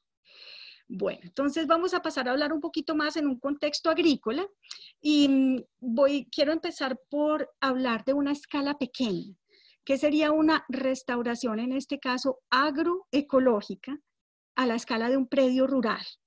Es un proceso que debe combinar muchos elementos. Aquí vemos, por ejemplo, árboles dispersos en potreros, vemos bancos mixtos de forrajes, vemos líneas de árboles como cercas vivas, barreras rompevientos, vemos áreas eh, en vegetación secundaria en proceso de enriquecimiento para facilitar su transición hacia bosque, eh, vemos las zonas de pastoreo con árboles, en fin, Es una serie de elementos van desde las acciones restaurativas más simples hasta la restauración de cinco estrellas, porque digamos que en algunas partes podemos pensar ya en eh, buscar un bosque que sea similar al que existió en otra época en el pasado. Esto es lo mismo que dice la, la imagen, en qué consiste la restauración a la escala de una finca. Trabajamos siempre enfocados en el agua, entonces consiste en proteger manantiales, quebradas, ríos y humedales con vegetación nativa, em, cercar los fragmentos de bosque para evitar la entrada del ganado y conectarlos con otras áreas boscosas en el paisaje, aumentar la cobertura de árboles en todo el predio, reemplazar cercas muertas por cercas vivas y cubrir las tierras pendientes, bien sea con bosques o con sistemas agroforestales. Pero para lograr esto tenemos que planificar el uso de la tierra con una mirada de largo plazo. Esto nos va a permitir mejorar la eficiencia de las mejores tierras del predio y liberar las tierras más pendientes y los humedales para la restauración ecológica, es decir, devolverle esas tierras a la naturaleza. Quiero pasar ahora a la escala del agropaisaje. Eh, pensando ya no en la escala de la finca individual, sino todo el paisaje en el que está inmersa. Y la pregunta orientadora aquí es, ¿por qué es importante promover la transición agroecológica y al mismo tiempo restaurar los ecosistemas? Para esto quiero recurrir a otro ejemplo. Em, aquí la, este es un trabajo de IP, Instituto de Pesquisas Ecológicas en Brasil. Este sitio es el eh, Parque Estatal Morro del Diablo en la región de Pontal de Paranapanema, en Sao Paulo. Em, esta es la parte más alta del parque, donde alcanzamos a ver que el parque es atravesado por una carretera. Em, y acá hay otra cosa muy interesante de este parque, o sea, es un parque de unas fronteras muy abruptas, o sea, el límite del parque es claramente visible, la matriz de paisaje es muy contrastante. Em, paisajes como este ofrecen oportunidades para restauración de mosaicos, es decir, la combinación de bosques y árboles con agricultura, los cursos de agua protegidos y también, eh, digamos, un manejo diferente de los asentamientos humanos en el paisaje.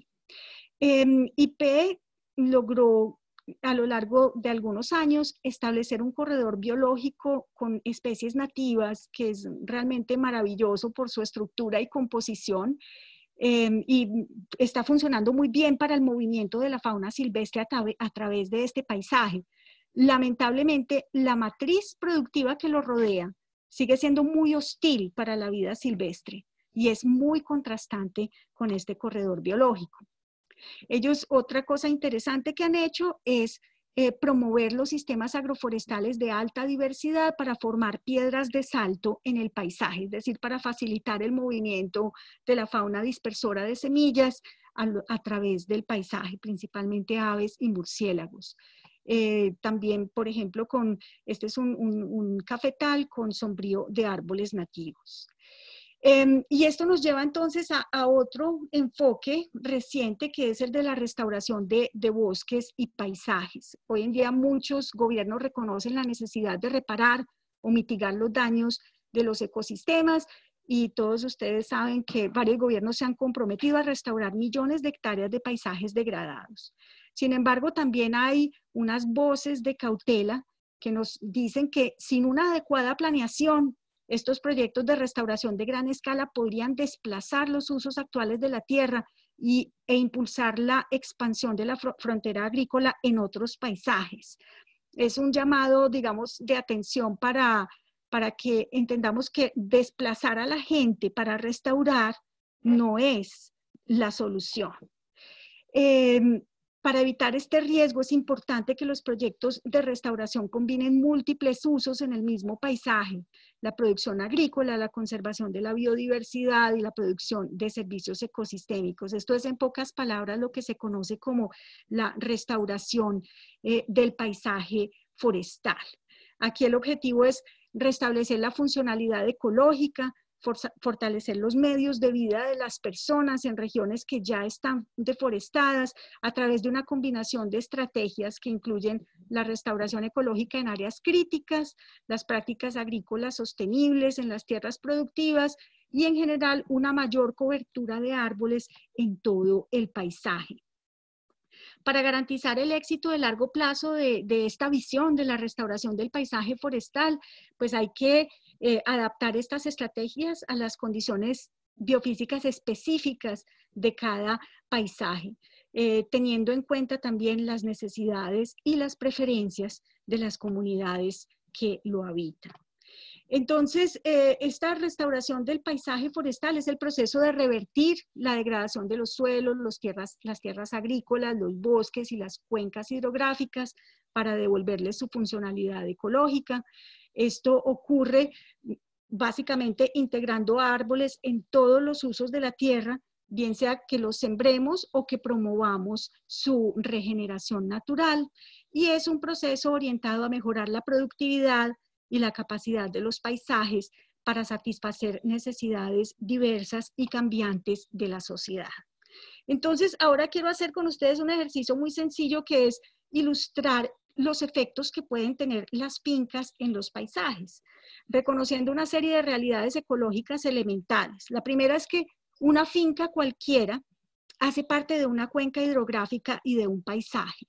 Aquí vemos una propiedad en la cuenca alta que tiene un bosque en proceso de restauración, está haciendo, digamos, una contribución positiva a la cuenca, comparada con un terreno que fue utilizado en el monocultivo de papa, con unas formas de cultivo muy nocivas que se están practicando en los Andes centrales de Colombia, eh, con una tasa de erosión altísima y situada al lado de una quebrada que surte al embalse eh, que le da agua potable a la, ciudad, a la segunda ciudad de Colombia. Eh, dos, dos propiedades rurales con efectos muy contrastantes en el paisaje. Otra realidad es que una finca o parcela puede ser permeable o impermeable a los movimientos de los organismos a través del paisaje. En el círculo rojo es una propiedad impermeable porque es una matriz muy hostil donde es difícil que la fauna y la flora puedan atravesar. En contraste, el cultivo de aguacate de la derecha, por su estructura con árboles y su proximidad con el bosque ribereño, forma, digamos, una matriz un poco más permeable a los movimientos de la fauna. Otra realidad que es muy importante entender es que la huella ecológica de una finca se extiende muchísimo más allá de sus límites. Em, esta es una propiedad rural con un nivel muy severo de erosión pero los efectos negativos de esta erosión no se dan únicamente a una escala local. A través de la red hidrológica, estos sedimentos pueden estar afectando ecosistemas situados a cientos y miles de kilómetros de distancia de este sitio. Em, debemos admitir también que la, la, erosión crea cicatrices improductivas en el paisaje, pequeñas manchas donde no hay mucha biodiversidad ni muchos servicios ecosistémicos. Otra realidad fundamental que debemos entender es que la agricultura y la ganadería dependen de servicios ecosistémicos que se generan a una escala mucho mayor que la de las fincas y parcelas. La caña de azúcar del Valle del Cauca depende del agua, de la regulación hidrológica de la cordillera central y occidental a, a una distancia considerable. Por otra parte, una finca interactúa con los ecosistemas circundantes a través de flujos. Estos flujos son de agua con sustancias disueltas, nutrientes, suelo y organismos. Hay sistemas productivos que ofrecen una matriz amigable de paisaje para una parte de la biodiversidad y que mejoran la conectividad entre eh, manchas de ecosistemas naturales en los paisajes agrícolas. También esta es una imagen del único cultivo de, té que hay en Colombia y nos permite ilustrar que una matriz con ecosistemas saludables como estos preciosos bosques de montaña reduce la vulnerabilidad de una finca frente a eventos climáticos extremos y desastres. También es muy importante reconocer que los sistemas agroforestales y silvopastoriles ofrecen hábitat para una porción importante de la biodiversidad local y que un sistema ganadero puede al mismo tiempo tener una alta cobertura de árboles y ser muy productivo en términos de leche o carne por hectárea por año. En síntesis, entonces, todos estos ejemplos eh, convergen en, esto. no todas las matrices de paisajes son iguales. Si tenemos una serie de, fragmentos de bosque o de hábitat en un paisaje, no es lo mismo que estén rodeados por agricultura intensiva con, aplicaciones de, de insumos sintéticos, a que estén rodeados de agroecosistemas diversos con un manejo agroecológico los movimientos, la migración de organismos entre parches de hábitat va a ser más eh, probable, más exitosa eh, en el segundo caso, a la derecha. Entonces, em, en los últimos años hemos insistido mucho en las sinergias entre agroecología y restauración. Em, la agroecología a la escala de fincas y parcelas y la restauración ampliando estos impactos a la escala del paisaje. Esta sinergia se expresa en términos de servicios ecosistémicos, eh, una matriz amigable, la conservación de la biodiversidad, ganar resiliencia frente a eventos climáticos extremos, el fortalecimiento de las economías locales, los medios de vida y la identidad cultural, y se expresa también en la belleza del paisaje y en su potencial para el turismo y el agroecoturismo. Pero para que esto pueda ocurrir necesitamos un sustrato fértil que es un poco intangible porque se relaciona con los valores sociales y humanos, que son los que hacen que esta sinergia sea posible. Em, la próxima década del 2021 a 2030 será la década de las Naciones Unidas para la restauración de ecosistemas. Y se empieza a reconocer en la, en la literatura de la restauración la sinergia de, con la agroecología.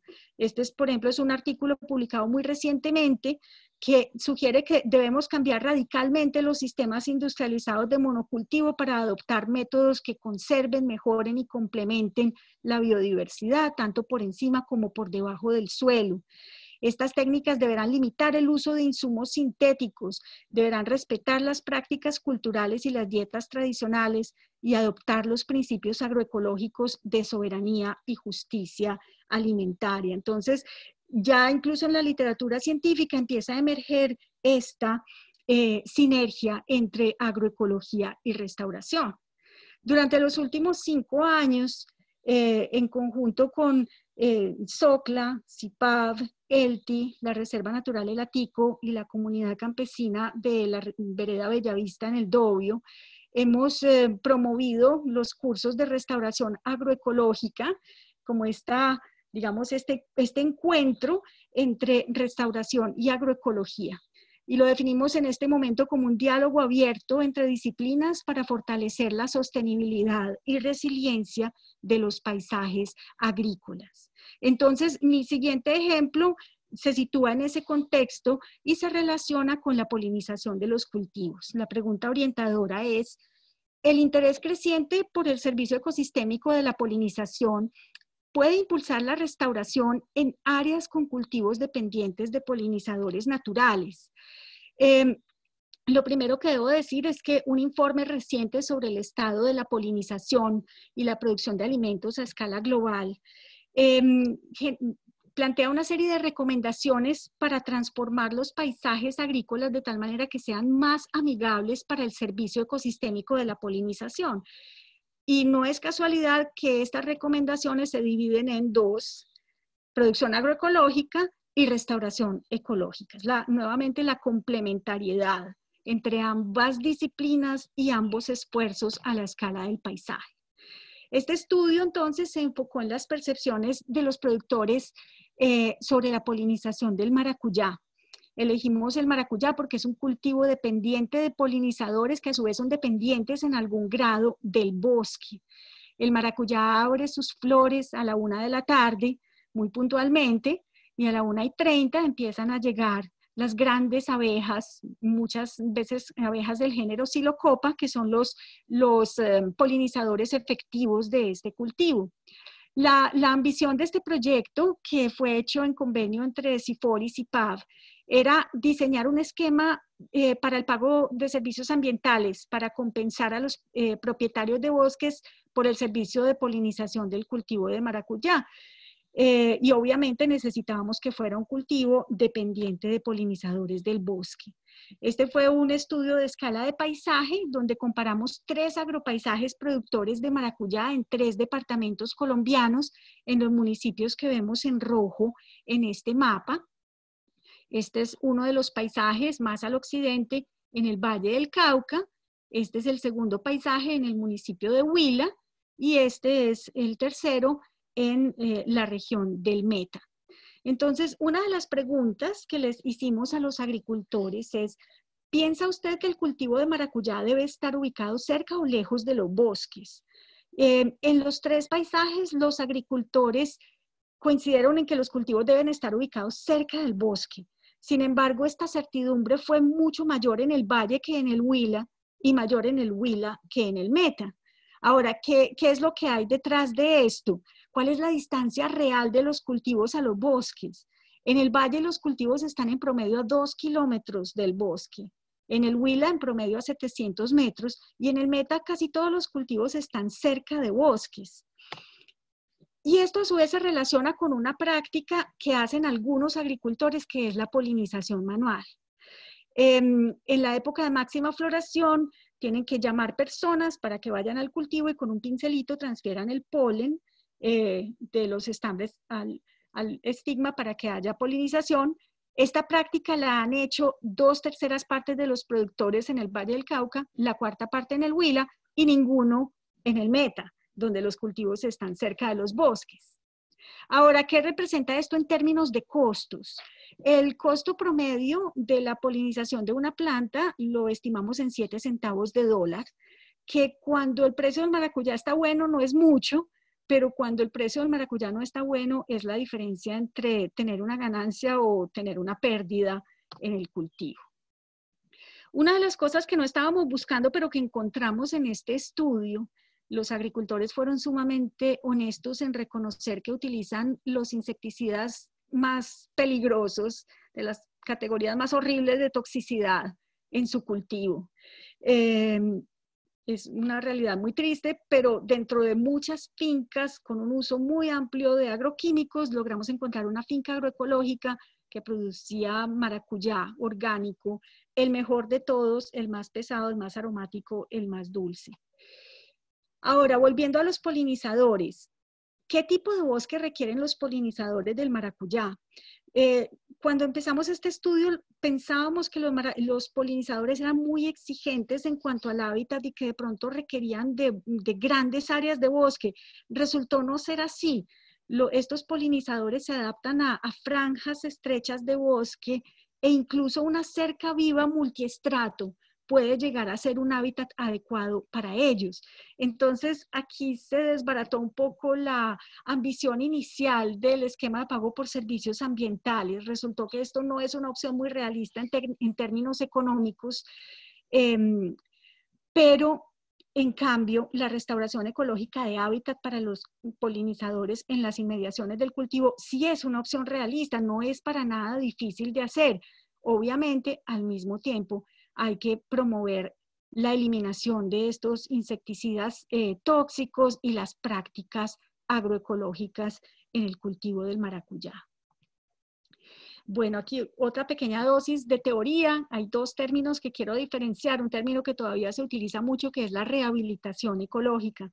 La rehabilitación pone énfasis en recuperar los procesos, la productividad y los servicios de un ecosistema sin que necesariamente estemos tratando de mm, replicar una determinada estructura y composición. Cuando ya nos ponemos un poco más exigentes y tratamos de restablecer una integridad biótica en términos de una determinada composición y una determinada estructura, ahí ya sí estamos hablando de la restauración y la que en el esquema que les mostré al comienzo de la charla llamé la, la restauración de cinco estrellas. en los paisajes culturales, que son la mayoría de los paisajes donde trabajamos, tenemos que admitir que muchas veces va a haber especies exóticas que son un componente integral del ecosistema, bien sea como parte de los cultivos o de los sistemas ganaderos o como arbences que han coevolucionado con los cultivos. Entonces, estas especies exóticas se consideran aceptables en el contexto de la restauración cultural. Aquí no me voy a meter mucho en el tema de ganadería porque Enrique lo va a, trabajar, lo va a tratar en mayor profundidad, pero solo quiero mostrar la complementariedad entre rehabilitación y restauración en los sistemas ganaderos. Em, cuando hacemos, em, trabajamos a la escala del predio ganadero, estamos buscando, por una parte, aumentar la productividad y rentabilidad del sistema, pero al mismo tiempo mejorando la generación de bienes y servicios ambientales. Si, somos, si tenemos éxito en esto y logramos que el productor logre eh, producir más leche y más carne en un área más pequeña, esto es lo que va a permitir la restauración. Eh, el productor va a estar en capacidad de liberar las tierras frágiles, marginales o estratégicas para la restauración ecológica. Entonces, no es que nosotros pretendamos decir que los sistemas silvopastoriles son una forma de restauración ecológica de cinco estrellas, pero los sistemas silvopastoriles nos generan mm, mayor, nos dan más bienes y servicios ambientales y al mismo tiempo hacen posible que las tierras que no son aptas para la ganadería eh, vuelvan a, a estar cubiertas de bosque. Entonces ahí está la complementariedad entre ambas, entre rehabilitación y restauración. Mi siguiente ejemplo se basa en esta pregunta. ¿Es posible aplicar los principios de la agroecología a la rehabilitación ecológica de tierras degradadas? Quiero mostrarles como ejemplo una pequeña finca, en propiedad de los hermanos Sandra y Julián eh, Giraldo. Em, ellos compraron esta finca alrededor de, en el año 2012, era cuando la compraron, era un monocultivo de arracacha con un nivel muy alto de erosión y una pérdida muy evidente de la productividad y de la biodiversidad. Lo primero que ellos hicieron entonces, pensando en el suelo, fue establecer una serie de barreras de una planta que se usa mucho en la, en la pues se, se, usa mucho como abono verde, que es el botón de oro Titonia diversifolia y pusieron esta planta en barreras a través de la pendiente a una distancia de 15 metros em, en el cultivo. Mm, ellos mm, lo primero que hicieron fue confirmar que la presencia del botón de oro no afecta la producción de las plantas de arracacha que están a ambos lados de la barrera. Luego, en el año 2014, ellos mm, cosecharon la arracacha, suspendieron el cultivo, pero conservaron esta infraestructura ecológica de barreras de botón de oro. Plantaron café eh, y aguacate con un sombrío temporal de tres especies, higuerilla, plátano y banano, y también eh, instalaron un sombrío más permanente de árboles fijadores de nitrógeno, guamos, chachafrutos y carboneros, y aprovecharon el espacio de las calles para producir alimentos para la familia como maíz y frijol continuaron haciendo un manejo del botón de oro, em, lo cortaron y lo aplicaron como abono verde eh, en los cultivos y como una cobertura protectora de los suelos. Em, desarrollaron este método en que el material de corte lo dejaban sobre los surcos para proteger el suelo y lo acumulaban sobre los drenajes para hacer una especie de filtro para retener los sólidos y eh, frenar la erosión. Esto fue cambiando muy rápidamente, ya en 2017 tenía esta, más, e, este aspecto, vemos todavía las franjas de botón de oro en curvas de nivel, em, pero ya estaban empezando a desaparecer los árboles de sombrío temporal y estaban empezando a crecer los árboles de sombrío permanente. Em, siguieron, siempre han conservado las barreras de botón de oro eh, para la protección del suelo y para incorporar esta biomasa al suelo cada cinco o seis semanas. Em, el café y el aguacate se han desarrollado muy bien dentro de este sistema. Este sistema ha sido también, digamos, muy interesante para el diálogo con productores y con profesionales de otras regiones, incluyendo nuestros alumnos de los cursos de agroecología y restauración ecológica. El pequeño sistema es lleno de ideas novedosas, como por ejemplo el uso de la piña en, mm, eh, variedades tolerantes a la sombra para formar barreras de control de erosión. Lo novedoso de esto es que la piña en monocultivo es terriblemente erosiva y nociva para el suelo, pero en barreras tiene el efecto contrario de proteger el suelo. Ha habido algo de adopción espontánea en predios vecinos que han copiado un poco la idea asociándola con diferentes cultivos y este es el aspecto actual de este sistema eh, agroforestal que ya está eh, mucho más consolidado em, en el paisaje. Bueno, ya para terminar, quiero hablar un poco sobre la relación entre sucesión ecológica y producción de alimentos.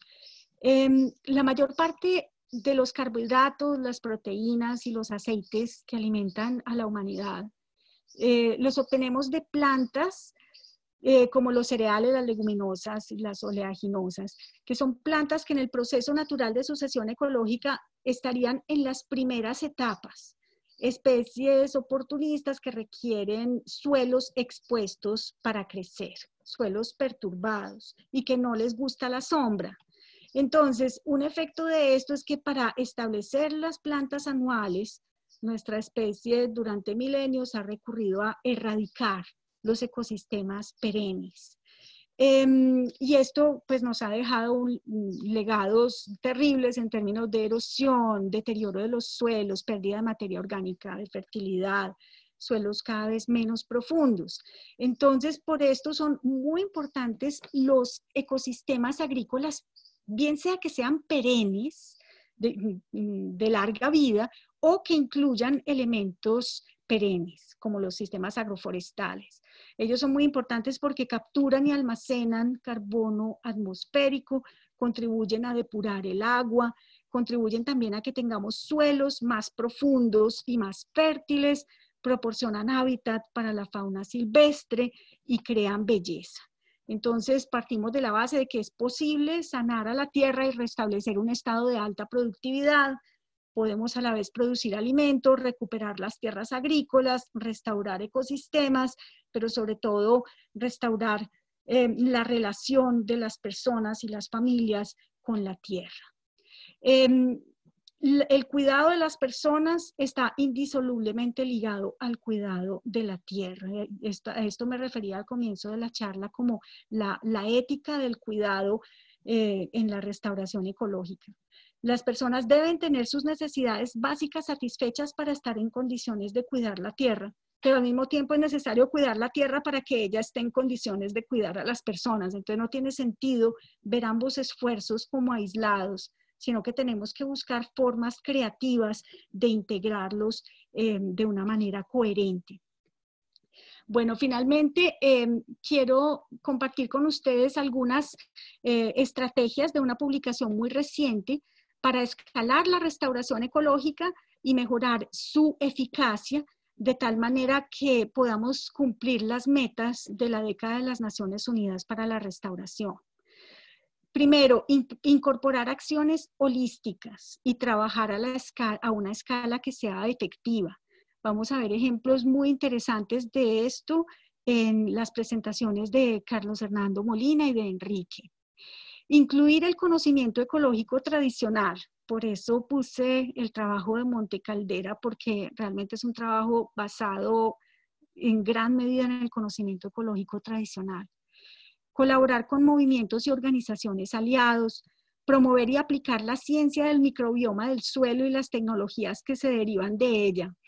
En la, la, la disciplina que estudia el suelo está haciendo una transición fascinante en este momento. Estamos pasando de la era de la química y la física del suelo a la era de la biología y estamos entendiendo las funciones increíbles que cumplen los microorganismos del suelo. Entonces, tenemos que aplicar todo este conocimiento maravilloso que está apareciendo en diferentes partes estudiar y difundir las relaciones que existen entre la salud de los ecosistemas y la salud humana. Esto es fundamental, documentar, eh, documentar esta relación porque, como decía Albert Howard, eh, uno de los padres de la agricultura orgánica, la salud se extiende desde el suelo a través de la planta a los consumidores del suelo, es decir, los seres humanos. La salud es una sola, que va desde el suelo hasta el consumidor de los alimentos ofrecer oportunidades de entrenamiento y fortalecimiento de capacidades para las comunidades y los profesionales y técnicos que trabajan en restauración. Y de eso se trata precisamente el programa con el que yo trabajo, el programa ELTI, que hace, está, es un, un programa de la Universidad de Yale con programas nacionales en diferentes países y lo que hacemos principalmente es tratar de fortalecer las capacidades de los productores, extensionistas, técnicos de campo y profesionales para hacer la restauración de ecosistemas. Entonces, finalmente, ante la crisis climática y alimentaria global, la restauración agroecológica nos da razones para la esperanza. Muchas gracias.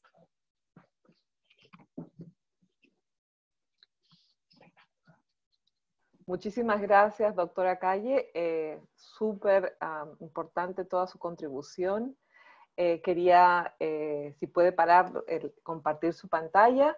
Y quería invitar a todos mis colegas a, por favor, hacer sus preguntas mediante el chat o pueden también levantar la mano.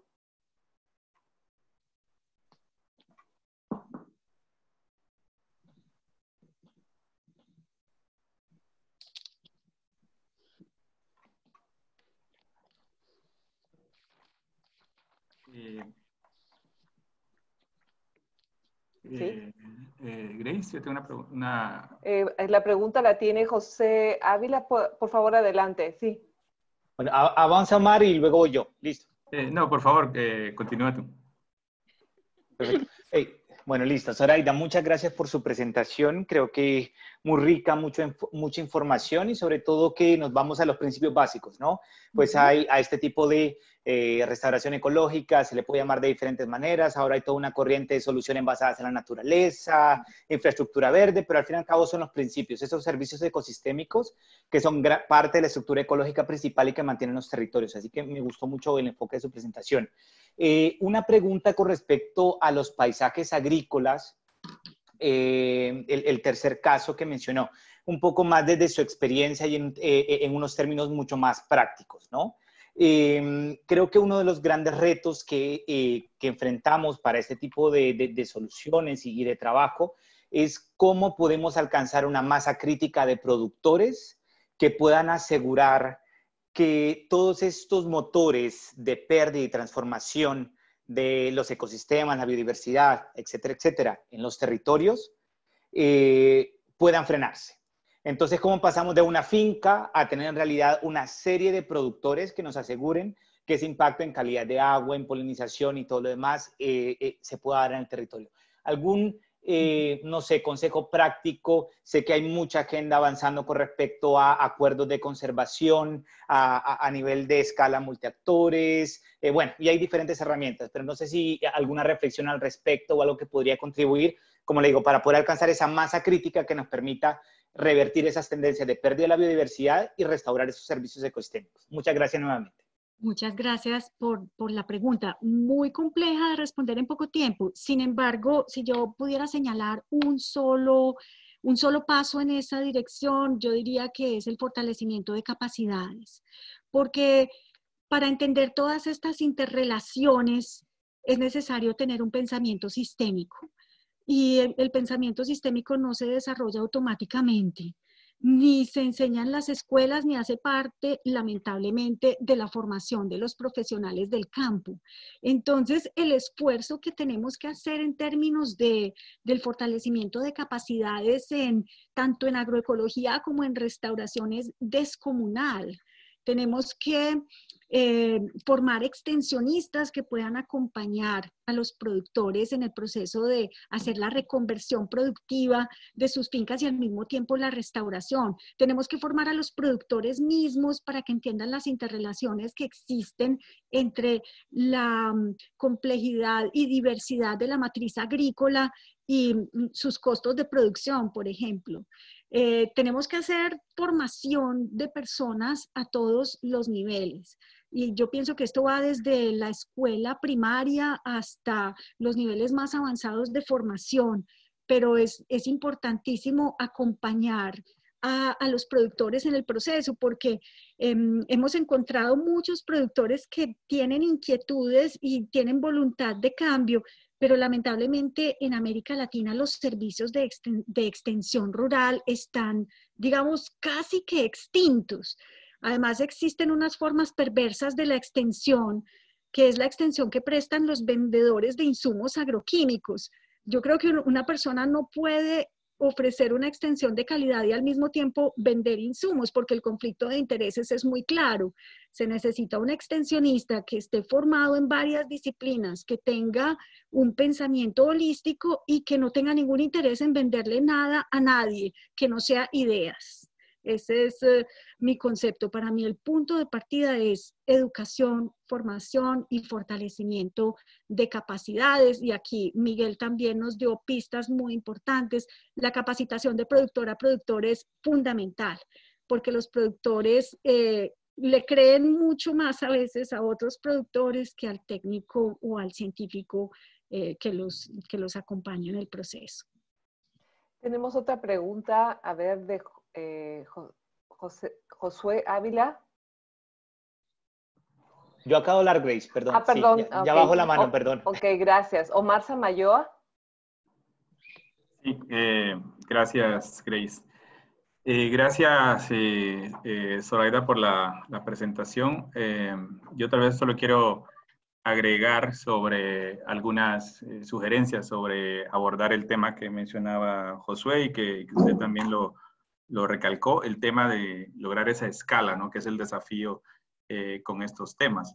Eh, y también lo mencioné un poco con, con, la presentación del doctor Altieri, ¿no? O sea, yo eh, creo que el tema de los mercados es un, es un motor importante para darle escala a esto. Y cuando hablo de mercados, no me refiero únicamente a, digamos, mercados de exportación, sino también mercados locales que pueden ser excedentarios y también para autoconsumo, ¿no? O sea, no, no necesariamente estamos hablando de productos que se tienen que vender, pueden ser productos, eh, una demanda eh, en, en, para las mismas eh, familias, para, para, autoconsumo, ¿no? Y he visto, conozco algunos casos que para mí son modelos, digamos, y impresionantes en términos de grupos organizados de productores eh, con una masa crítica importante, o sea, organizaciones de más de 20.000 productores eh, que han logrado eh, tener un impacto importante en términos de la, de la restauración, ¿no? pero uno puede ver ahí que el, lo que mueve todo esto, digamos, y que aborda algunas de las barreras tan importantes como las que mencionaba, el, término de extensión, por ejemplo, totalmente de acuerdo que o sea, es, es, un tema que, que, ha sido muy debilitado, está muy debilitado en la parte pública eh, y como mencionaba, está siendo abordado por el, sector eh, privado, digamos principalmente eh, casas comerciales, ventas de productos químicos, pero como mencionaba, y lógicamente ellos van a querer, digamos, vender su, su, su, producto, ¿no? Entonces, en ese caso, ahí hay un, claro conflicto de, interés. Entonces, ese, ese tema, la necesidad de la extensión, digamos, he visto modelos donde están siendo, siendo cubiertos por estas organizaciones de, base, eh, nuevamente enfocadas en mercados con mucha, mucha experiencia, no solo en el tema de extensión, sino en la parte de acceso a financiamiento y todos organizados a través de, cadenas de, valor. Entonces, eh, con eso lo que quiero decir es que hay casos, digamos, hay, hay en, la región, hay, hay, muchos ejemplos y yo creo que ahí hay, hay mucho eh, de dónde aprender para poder buscar replicar esto y darle, darle escala a nivel de un territorio o a, nivel de los países. Excelente.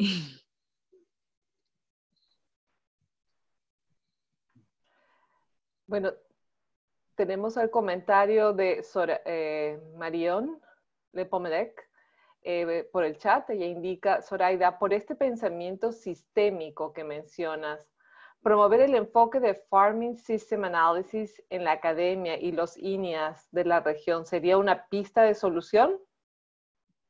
Sí, lógicamente. Eh, promover el análisis del sistema finca es, una, es un buen comienzo, es una buena parte. Eh, promover eh, la planificación predial participativa, que es, eh, es, una herramienta fundamental, eh, que también es muy importante en nuestro trabajo, es acompañar a los productores en el proceso de identificar la historia de su predio, caracterizar el estado actual y soñar el futuro, em, pensando en la reconversión de sus sistemas productivos y al mismo tiempo en la restauración ecológica, pero ojalá con una visión del paisaje, no, con no únicamente con una visión del predio aislado, sino del predio como parte de un paisaje, de una cuenca hidrográfica y pensar un poco también en términos de, de pronto de especies focales, de problemas de conservación a una escala mayor. Entonces, sí, esa sería una herramienta clave, pero lógicamente no es la única y la escala del predio no es la única escala a la que tenemos que trabajar. Es para mí un mensaje muy claro de todo esto. La escala de la microcuenca es absolutamente fundamental y como la escala del paisaje. Em, y, tenemos que lograr de alguna manera que, que los productores puedan y los extensionistas puedan dar el salto para pensar a una escala un poquito mayor las implicaciones de sus acciones en el territorio una pregunta, eh, si Juan Murguía podría eh, abrir su micrófono, por favor. Sí, buenas tardes. Eh, muchas gracias por la presentación. Uno de mis primeros tres cursos en, agronomía, eso fue hace 25 años, era el curso de agroecología. Entonces, mi pregunta es, ¿qué ha pasado en estos 25 años? Porque esas, esos conceptos que parecen tan obvios y tan antiguos, ¿cuáles son las barreras que han eh, que llevan a cobrar mediante la agroecología es algo innovador. Entonces yo no entiendo. Eh, uno se supone que altera un sistema ecológico y, lo modifica de la manera más costo efectiva para lograr los beneficios que quiere. Y parece que se ha distorsionado ese objetivo eh, en un sistema que busca minimizar los riesgos mediante la gran incorporación de, de energía para transformar ese sistema, para lograr escalas, para simplificarlo, para que cualquiera lo pueda hacer este, y, que y, esa solución viene promocionada de eh, eh, un sector agroindustrial que, eh, de, y de productos químicos que ha crecido mucho. Y, siempre la sensación que tengo es, no, antes el malatión era terrible, pero ahora sacamos un nuevo producto que este tiene muchos menos efectos nocivos en el largo plazo. Y pasan 10 años y resulta ese que era fantástico, no tenía ningún problema, vuelve a tener problemas y sacamos otro y sacamos otro. ¿no? Esto es un juego en el tiempo. Y después terminamos con el mercado doméstico, en donde las frutas y las verduras que consumimos, la mayor parte de los países, el 20, 25, incluso el 50% de las, de las frutas y verduras que consumimos, tienen niveles por encima de los niveles requeridos. Entonces, ah, eh, ¿qué, cuáles son los desafíos que hay para que podamos avanzar con una agenda de agroecología que haga más racional el uso de los recursos, eh, más estable el sistema eh, agroproductivo menos dependiente de los shocks eh, de demanda que te tiran los precios abajo y te quedas sin plata para los insumos. Eh, ¿Cómo arreglamos eso? esta pregunta, esta pregunta es mucho más como para Miguel Altieri que para mí, pero voy a hacer lo que pueda por responderla. No, pero, pero, pero tú, tú, has presentado varios, varios ejemplos de varios proyectos, ¿no? Y la otra gran pregunta es, cuando vienes al banco y te van a dar un proyecto de 20 millones, de 30 millones o de 50 millones, y ahí me dices, no, tenemos, no hay demanda, no vas al mercado y compras esto, tienes que desarrollar, perdón, no hay oferta. Tienes que todavía desarrollar la capacidad de la oferta para entonces poder este, tener esa demanda. ¿Cómo hacemos para jalar las dos cosas al mismo tiempo? Sí, y ese, algo que no mencioné en la anterior respuesta que di es que también tenemos que educar a los consumidores para que eh, se planteen una serie de preguntas fundamentales sobre el origen de los alimentos que consumen y, sobre el aspecto ético de la producción de los alimentos. Y todos estos problemas que tú mencionabas al plantear la pregunta, para mí están muy claramente relacionados con el pensamiento reduccionista que es el que nos ha llegado, nos, nos lleva a pensar que las soluciones están en mirar a una escala cada vez más pequeñita de, del gen y entonces el organismo modificado y el monocultivo y acabar con el insectito tal y llegar cada vez a sistemas más y más y más y más y más simplificados cuando lo que necesitamos es exactamente todo lo contrario, eh, ampliar la mente hacia sistemas cada vez más diversificados, más similares a los ecosistemas naturales y más resilientes. Y yo creo que mm, lo que ha pasado durante los últimos 20 años es que de pronto quizás la, la crisis no nos había llegado, no nos había llevado al punto al que nos ha traído ahora.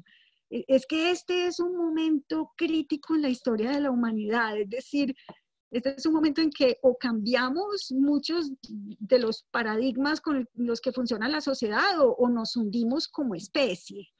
Eh, entonces yo pienso que el momento actual es, es, está muy bueno para plantear muchas de estas cuestiones que no son solamente científicas, sino que son también éticas sobre las relaciones entre seres humanos y entre los seres humanos y la naturaleza y el hecho de alimentarnos, como nos dice Miguel, como, como un acto ecológico y político y las interrelaciones de todo esto con la salud y con la equidad y con los temas de género y todo esto. Entonces, para mí, esta pregunta está muy relacionada con, con lo anterior y lo que necesitamos es menos pensamiento reduccionista y más pensamiento holístico en todos los temas que tienen que ver con nuestra alimentación y con los, con los servicios ecosistémicos que son fundamentales para nuestra sobrevivencia.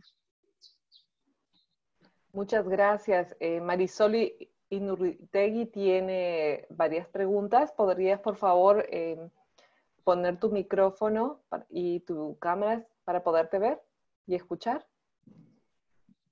Sí, muchísimas gracias, Zoraida, eh, Grace, por, por la presentación.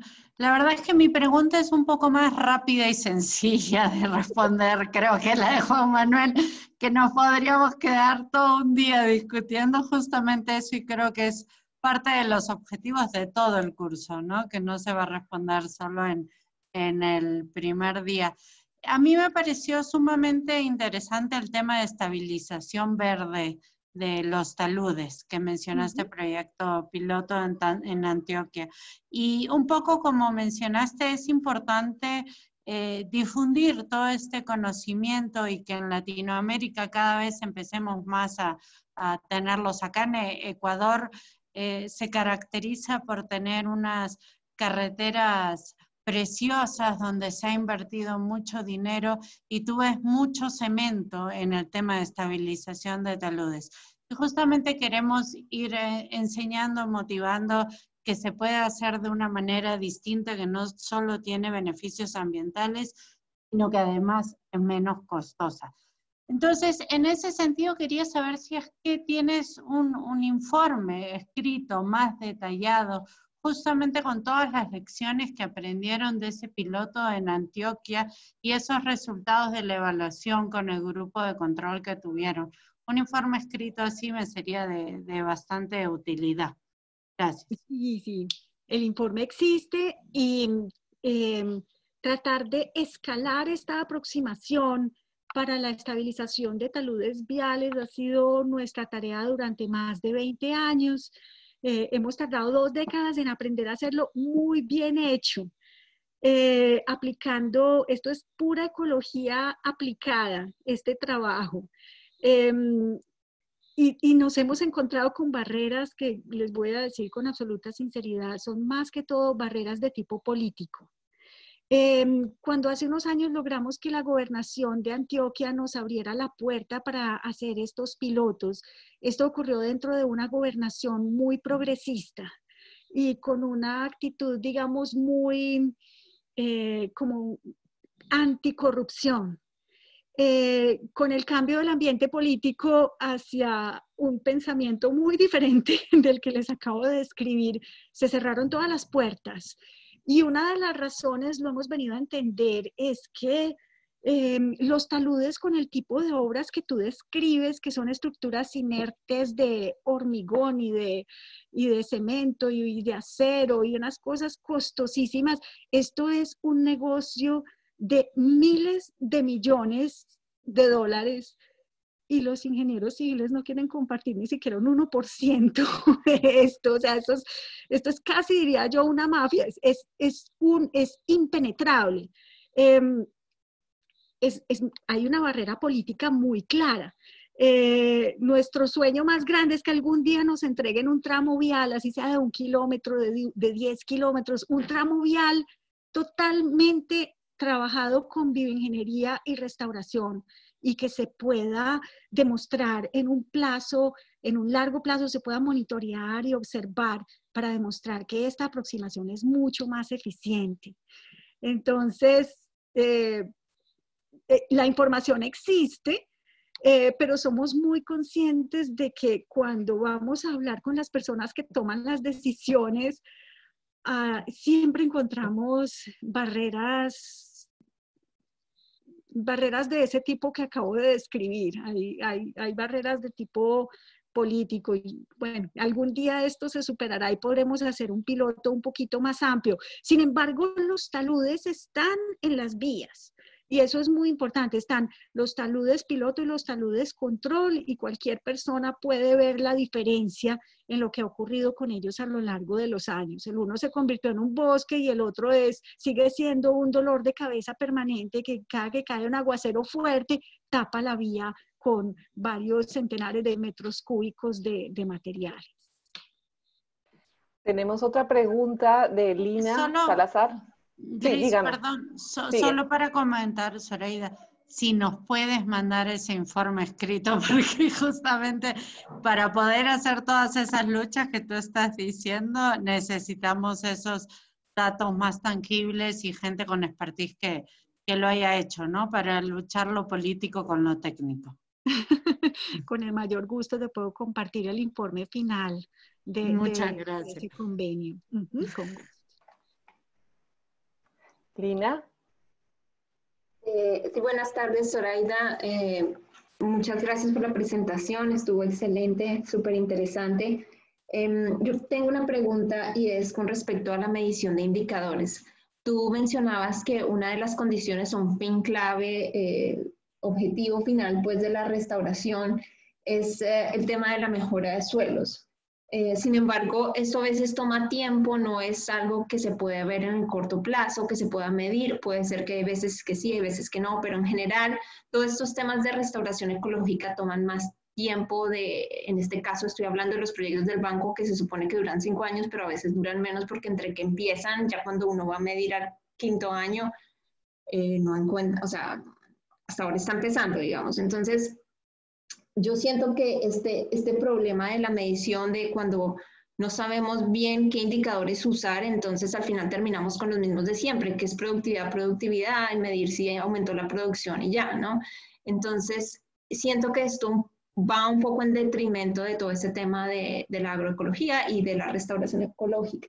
Entonces, ¿cómo sugieres tú que se pueda eh, abordar este, este problema o este obstáculo que, que, yo creo que es importante en el momento de, implementar este tipo de, proyectos. Claro que sí. Lo que, lo que tú dices sobre la restauración es cierto, digamos, a una escala global, pero no es del todo cierto en el trópico. La verdad es que la naturaleza tropical es tan explosiva que no es sino darle la mano un poquito y tú, tú ves tú ves una respuesta, una, capacidad de recuperación que es una cosa impresionante. Eh, hay ecosistemas donde realmente vemos florecer estas áreas de restauración a una velocidad que a mí no deja de sorprenderme. Em, tienes razón en que el, el, número de variables que uno podría medir es prácticamente infinita, entonces hay que ser muy pragmático al seleccionar las variables, hay unas variables que son sumamente fáciles de medir. Eh, en las áreas de restauración, por ejemplo, yo diría lo más sencillo y económico de medir, que al mismo tiempo se relaciona con todos los procesos ecológicos que uno se alcanza a imaginar, es la cobertura de dosel. La cobertura de dosel es simplemente eh, la sombra que hay encima de un punto determinado y se, mide con, se mide con un, un espejito cóncavo en unos pocos minutos. Es una cosa supremamente sencilla y se relaciona con la recuperación del suelo, con la biodiversidad funcional, con el aumento en la complejidad estructural de la vegetación, en fin, esa y otra serie de variables muy fáciles de medir. Después de, analizar esta pregunta muchísimos años, hemos llegado a la conclusión de que sí hay cosas que se pueden medir muy rápido, a muy bajo costo y sobre todo eh, a nosotros nos gusta mucho trabajar con las comunidades rurales, con los jóvenes, sobre todo como coinvestigadores. Entonces, cosas que se pueden medir con la gente del campo y que a la gente le gusta y lo disfruta y además ayuda para conectar a los niños y a los jóvenes con la naturaleza. tenemos un protocolo de unas variables muy sencillas, eh, la cobertura del suelo, la cobertura de dosel, el número de especies que han regenerado en un transecto de 30 metros, em, la densidad de lombrices, la densidad de escarabajos estercoleros, cosas que se pueden medir eh, a bajo costo, sin, sin, sin, análisis de laboratorio costosos y complejos y que al mismo tiempo nos sirven para acercar más a las personas de las comunidades aledañas a las áreas de restauración, eh, para que se acerquen más y para que se planteen preguntas eh, sobre el proceso. Entonces, eh, sí, sí hay, pues claro, hay gente que le encanta medir cosas muy sofisticadas, pero hay cosas muy sencillas. Y hablando de herramientas un poco más sofisticadas, quiero destacar el papel de dos. Una es el dron. El dron nos ha cambiado completamente los métodos de hacer monitoreo eh, y las imágenes de dron son tan contundentes que realmente es una herramienta muy útil para hacer el diagnóstico de restauración y el seguimiento de las áreas en proceso de restauración. Y la otra herramienta que es, eh, es muy, muy interesante porque motiva mucho a las personas en las comunidades rurales son las cámaras trampa, porque uno instala las cámaras trampa en las, en las fincas y, y, entonces la gente puede ver fotos de la fauna silvestre que no se deja observar, pero que está allí. Y eso es muy motivador para la gente saber que está el jaguar o que está el tigrillo o en fin, saber que sí hay fauna, que simplemente es muy discreta, pero, pero esto abre la mirada hacia la biodiversidad en el paisaje rural.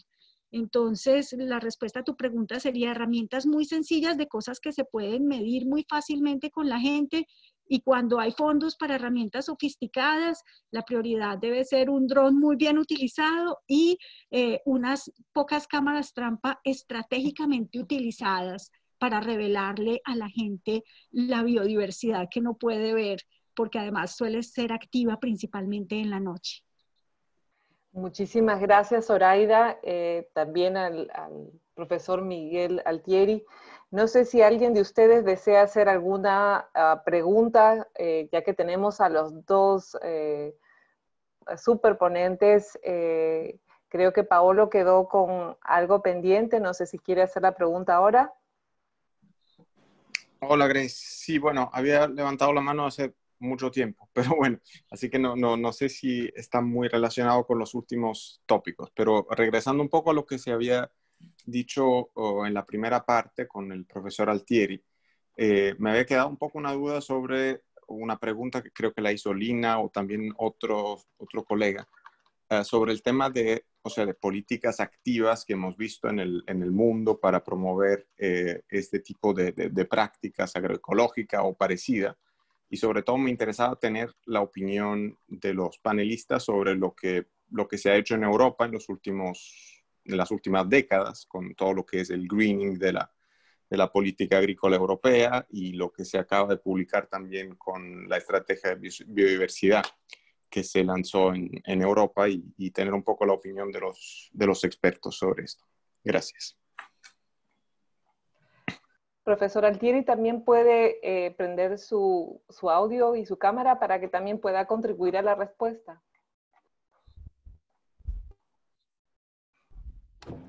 Gracias. Eh, bueno, hay, hay experiencias importantes en América Latina que tienen que ver, por un lado, con países que tienen ciertas iniciativas, incluso está incorporado dentro de la Constitución los conceptos de seguridad alimentaria, los conceptos de agricultura sostenible.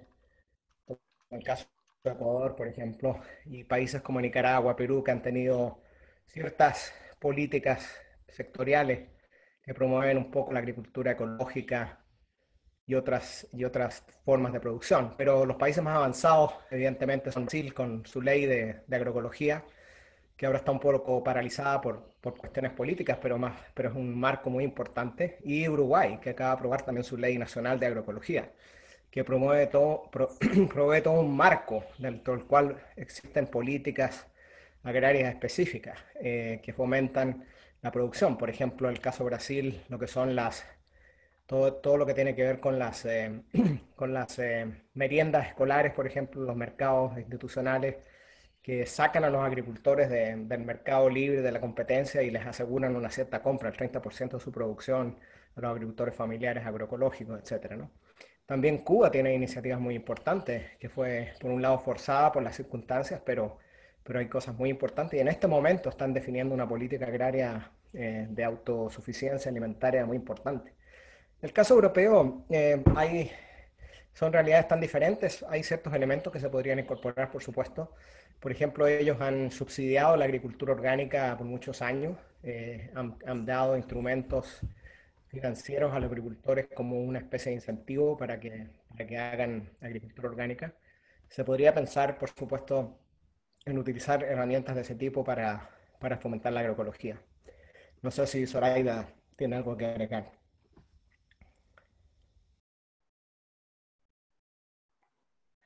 Su audio. No, no, no. En el tema de, de políticas no, no, tengo mucho realmente que, que agregar. Ok, bueno, muchísimas gracias eh, a los dos por su tiempo, por su contribución. Ha sido súper enriquecedor escucharlos y a todos mis compañeros, digamos, poder hacer este diálogo con ustedes. Eh, eh, mañana entonces cerramos con el día de hoy. Mañana los esperamos a las 3 de la tarde a toda la gente de RND. También les queremos decir que al final del entrenamiento se van a colgar las presentaciones en el archivo de Teams. Así es que bueno, con eso les decimos muy buenas tardes, eh, cuídense mucho y bueno, que tengan una feliz noche. Muchas gracias. Luego.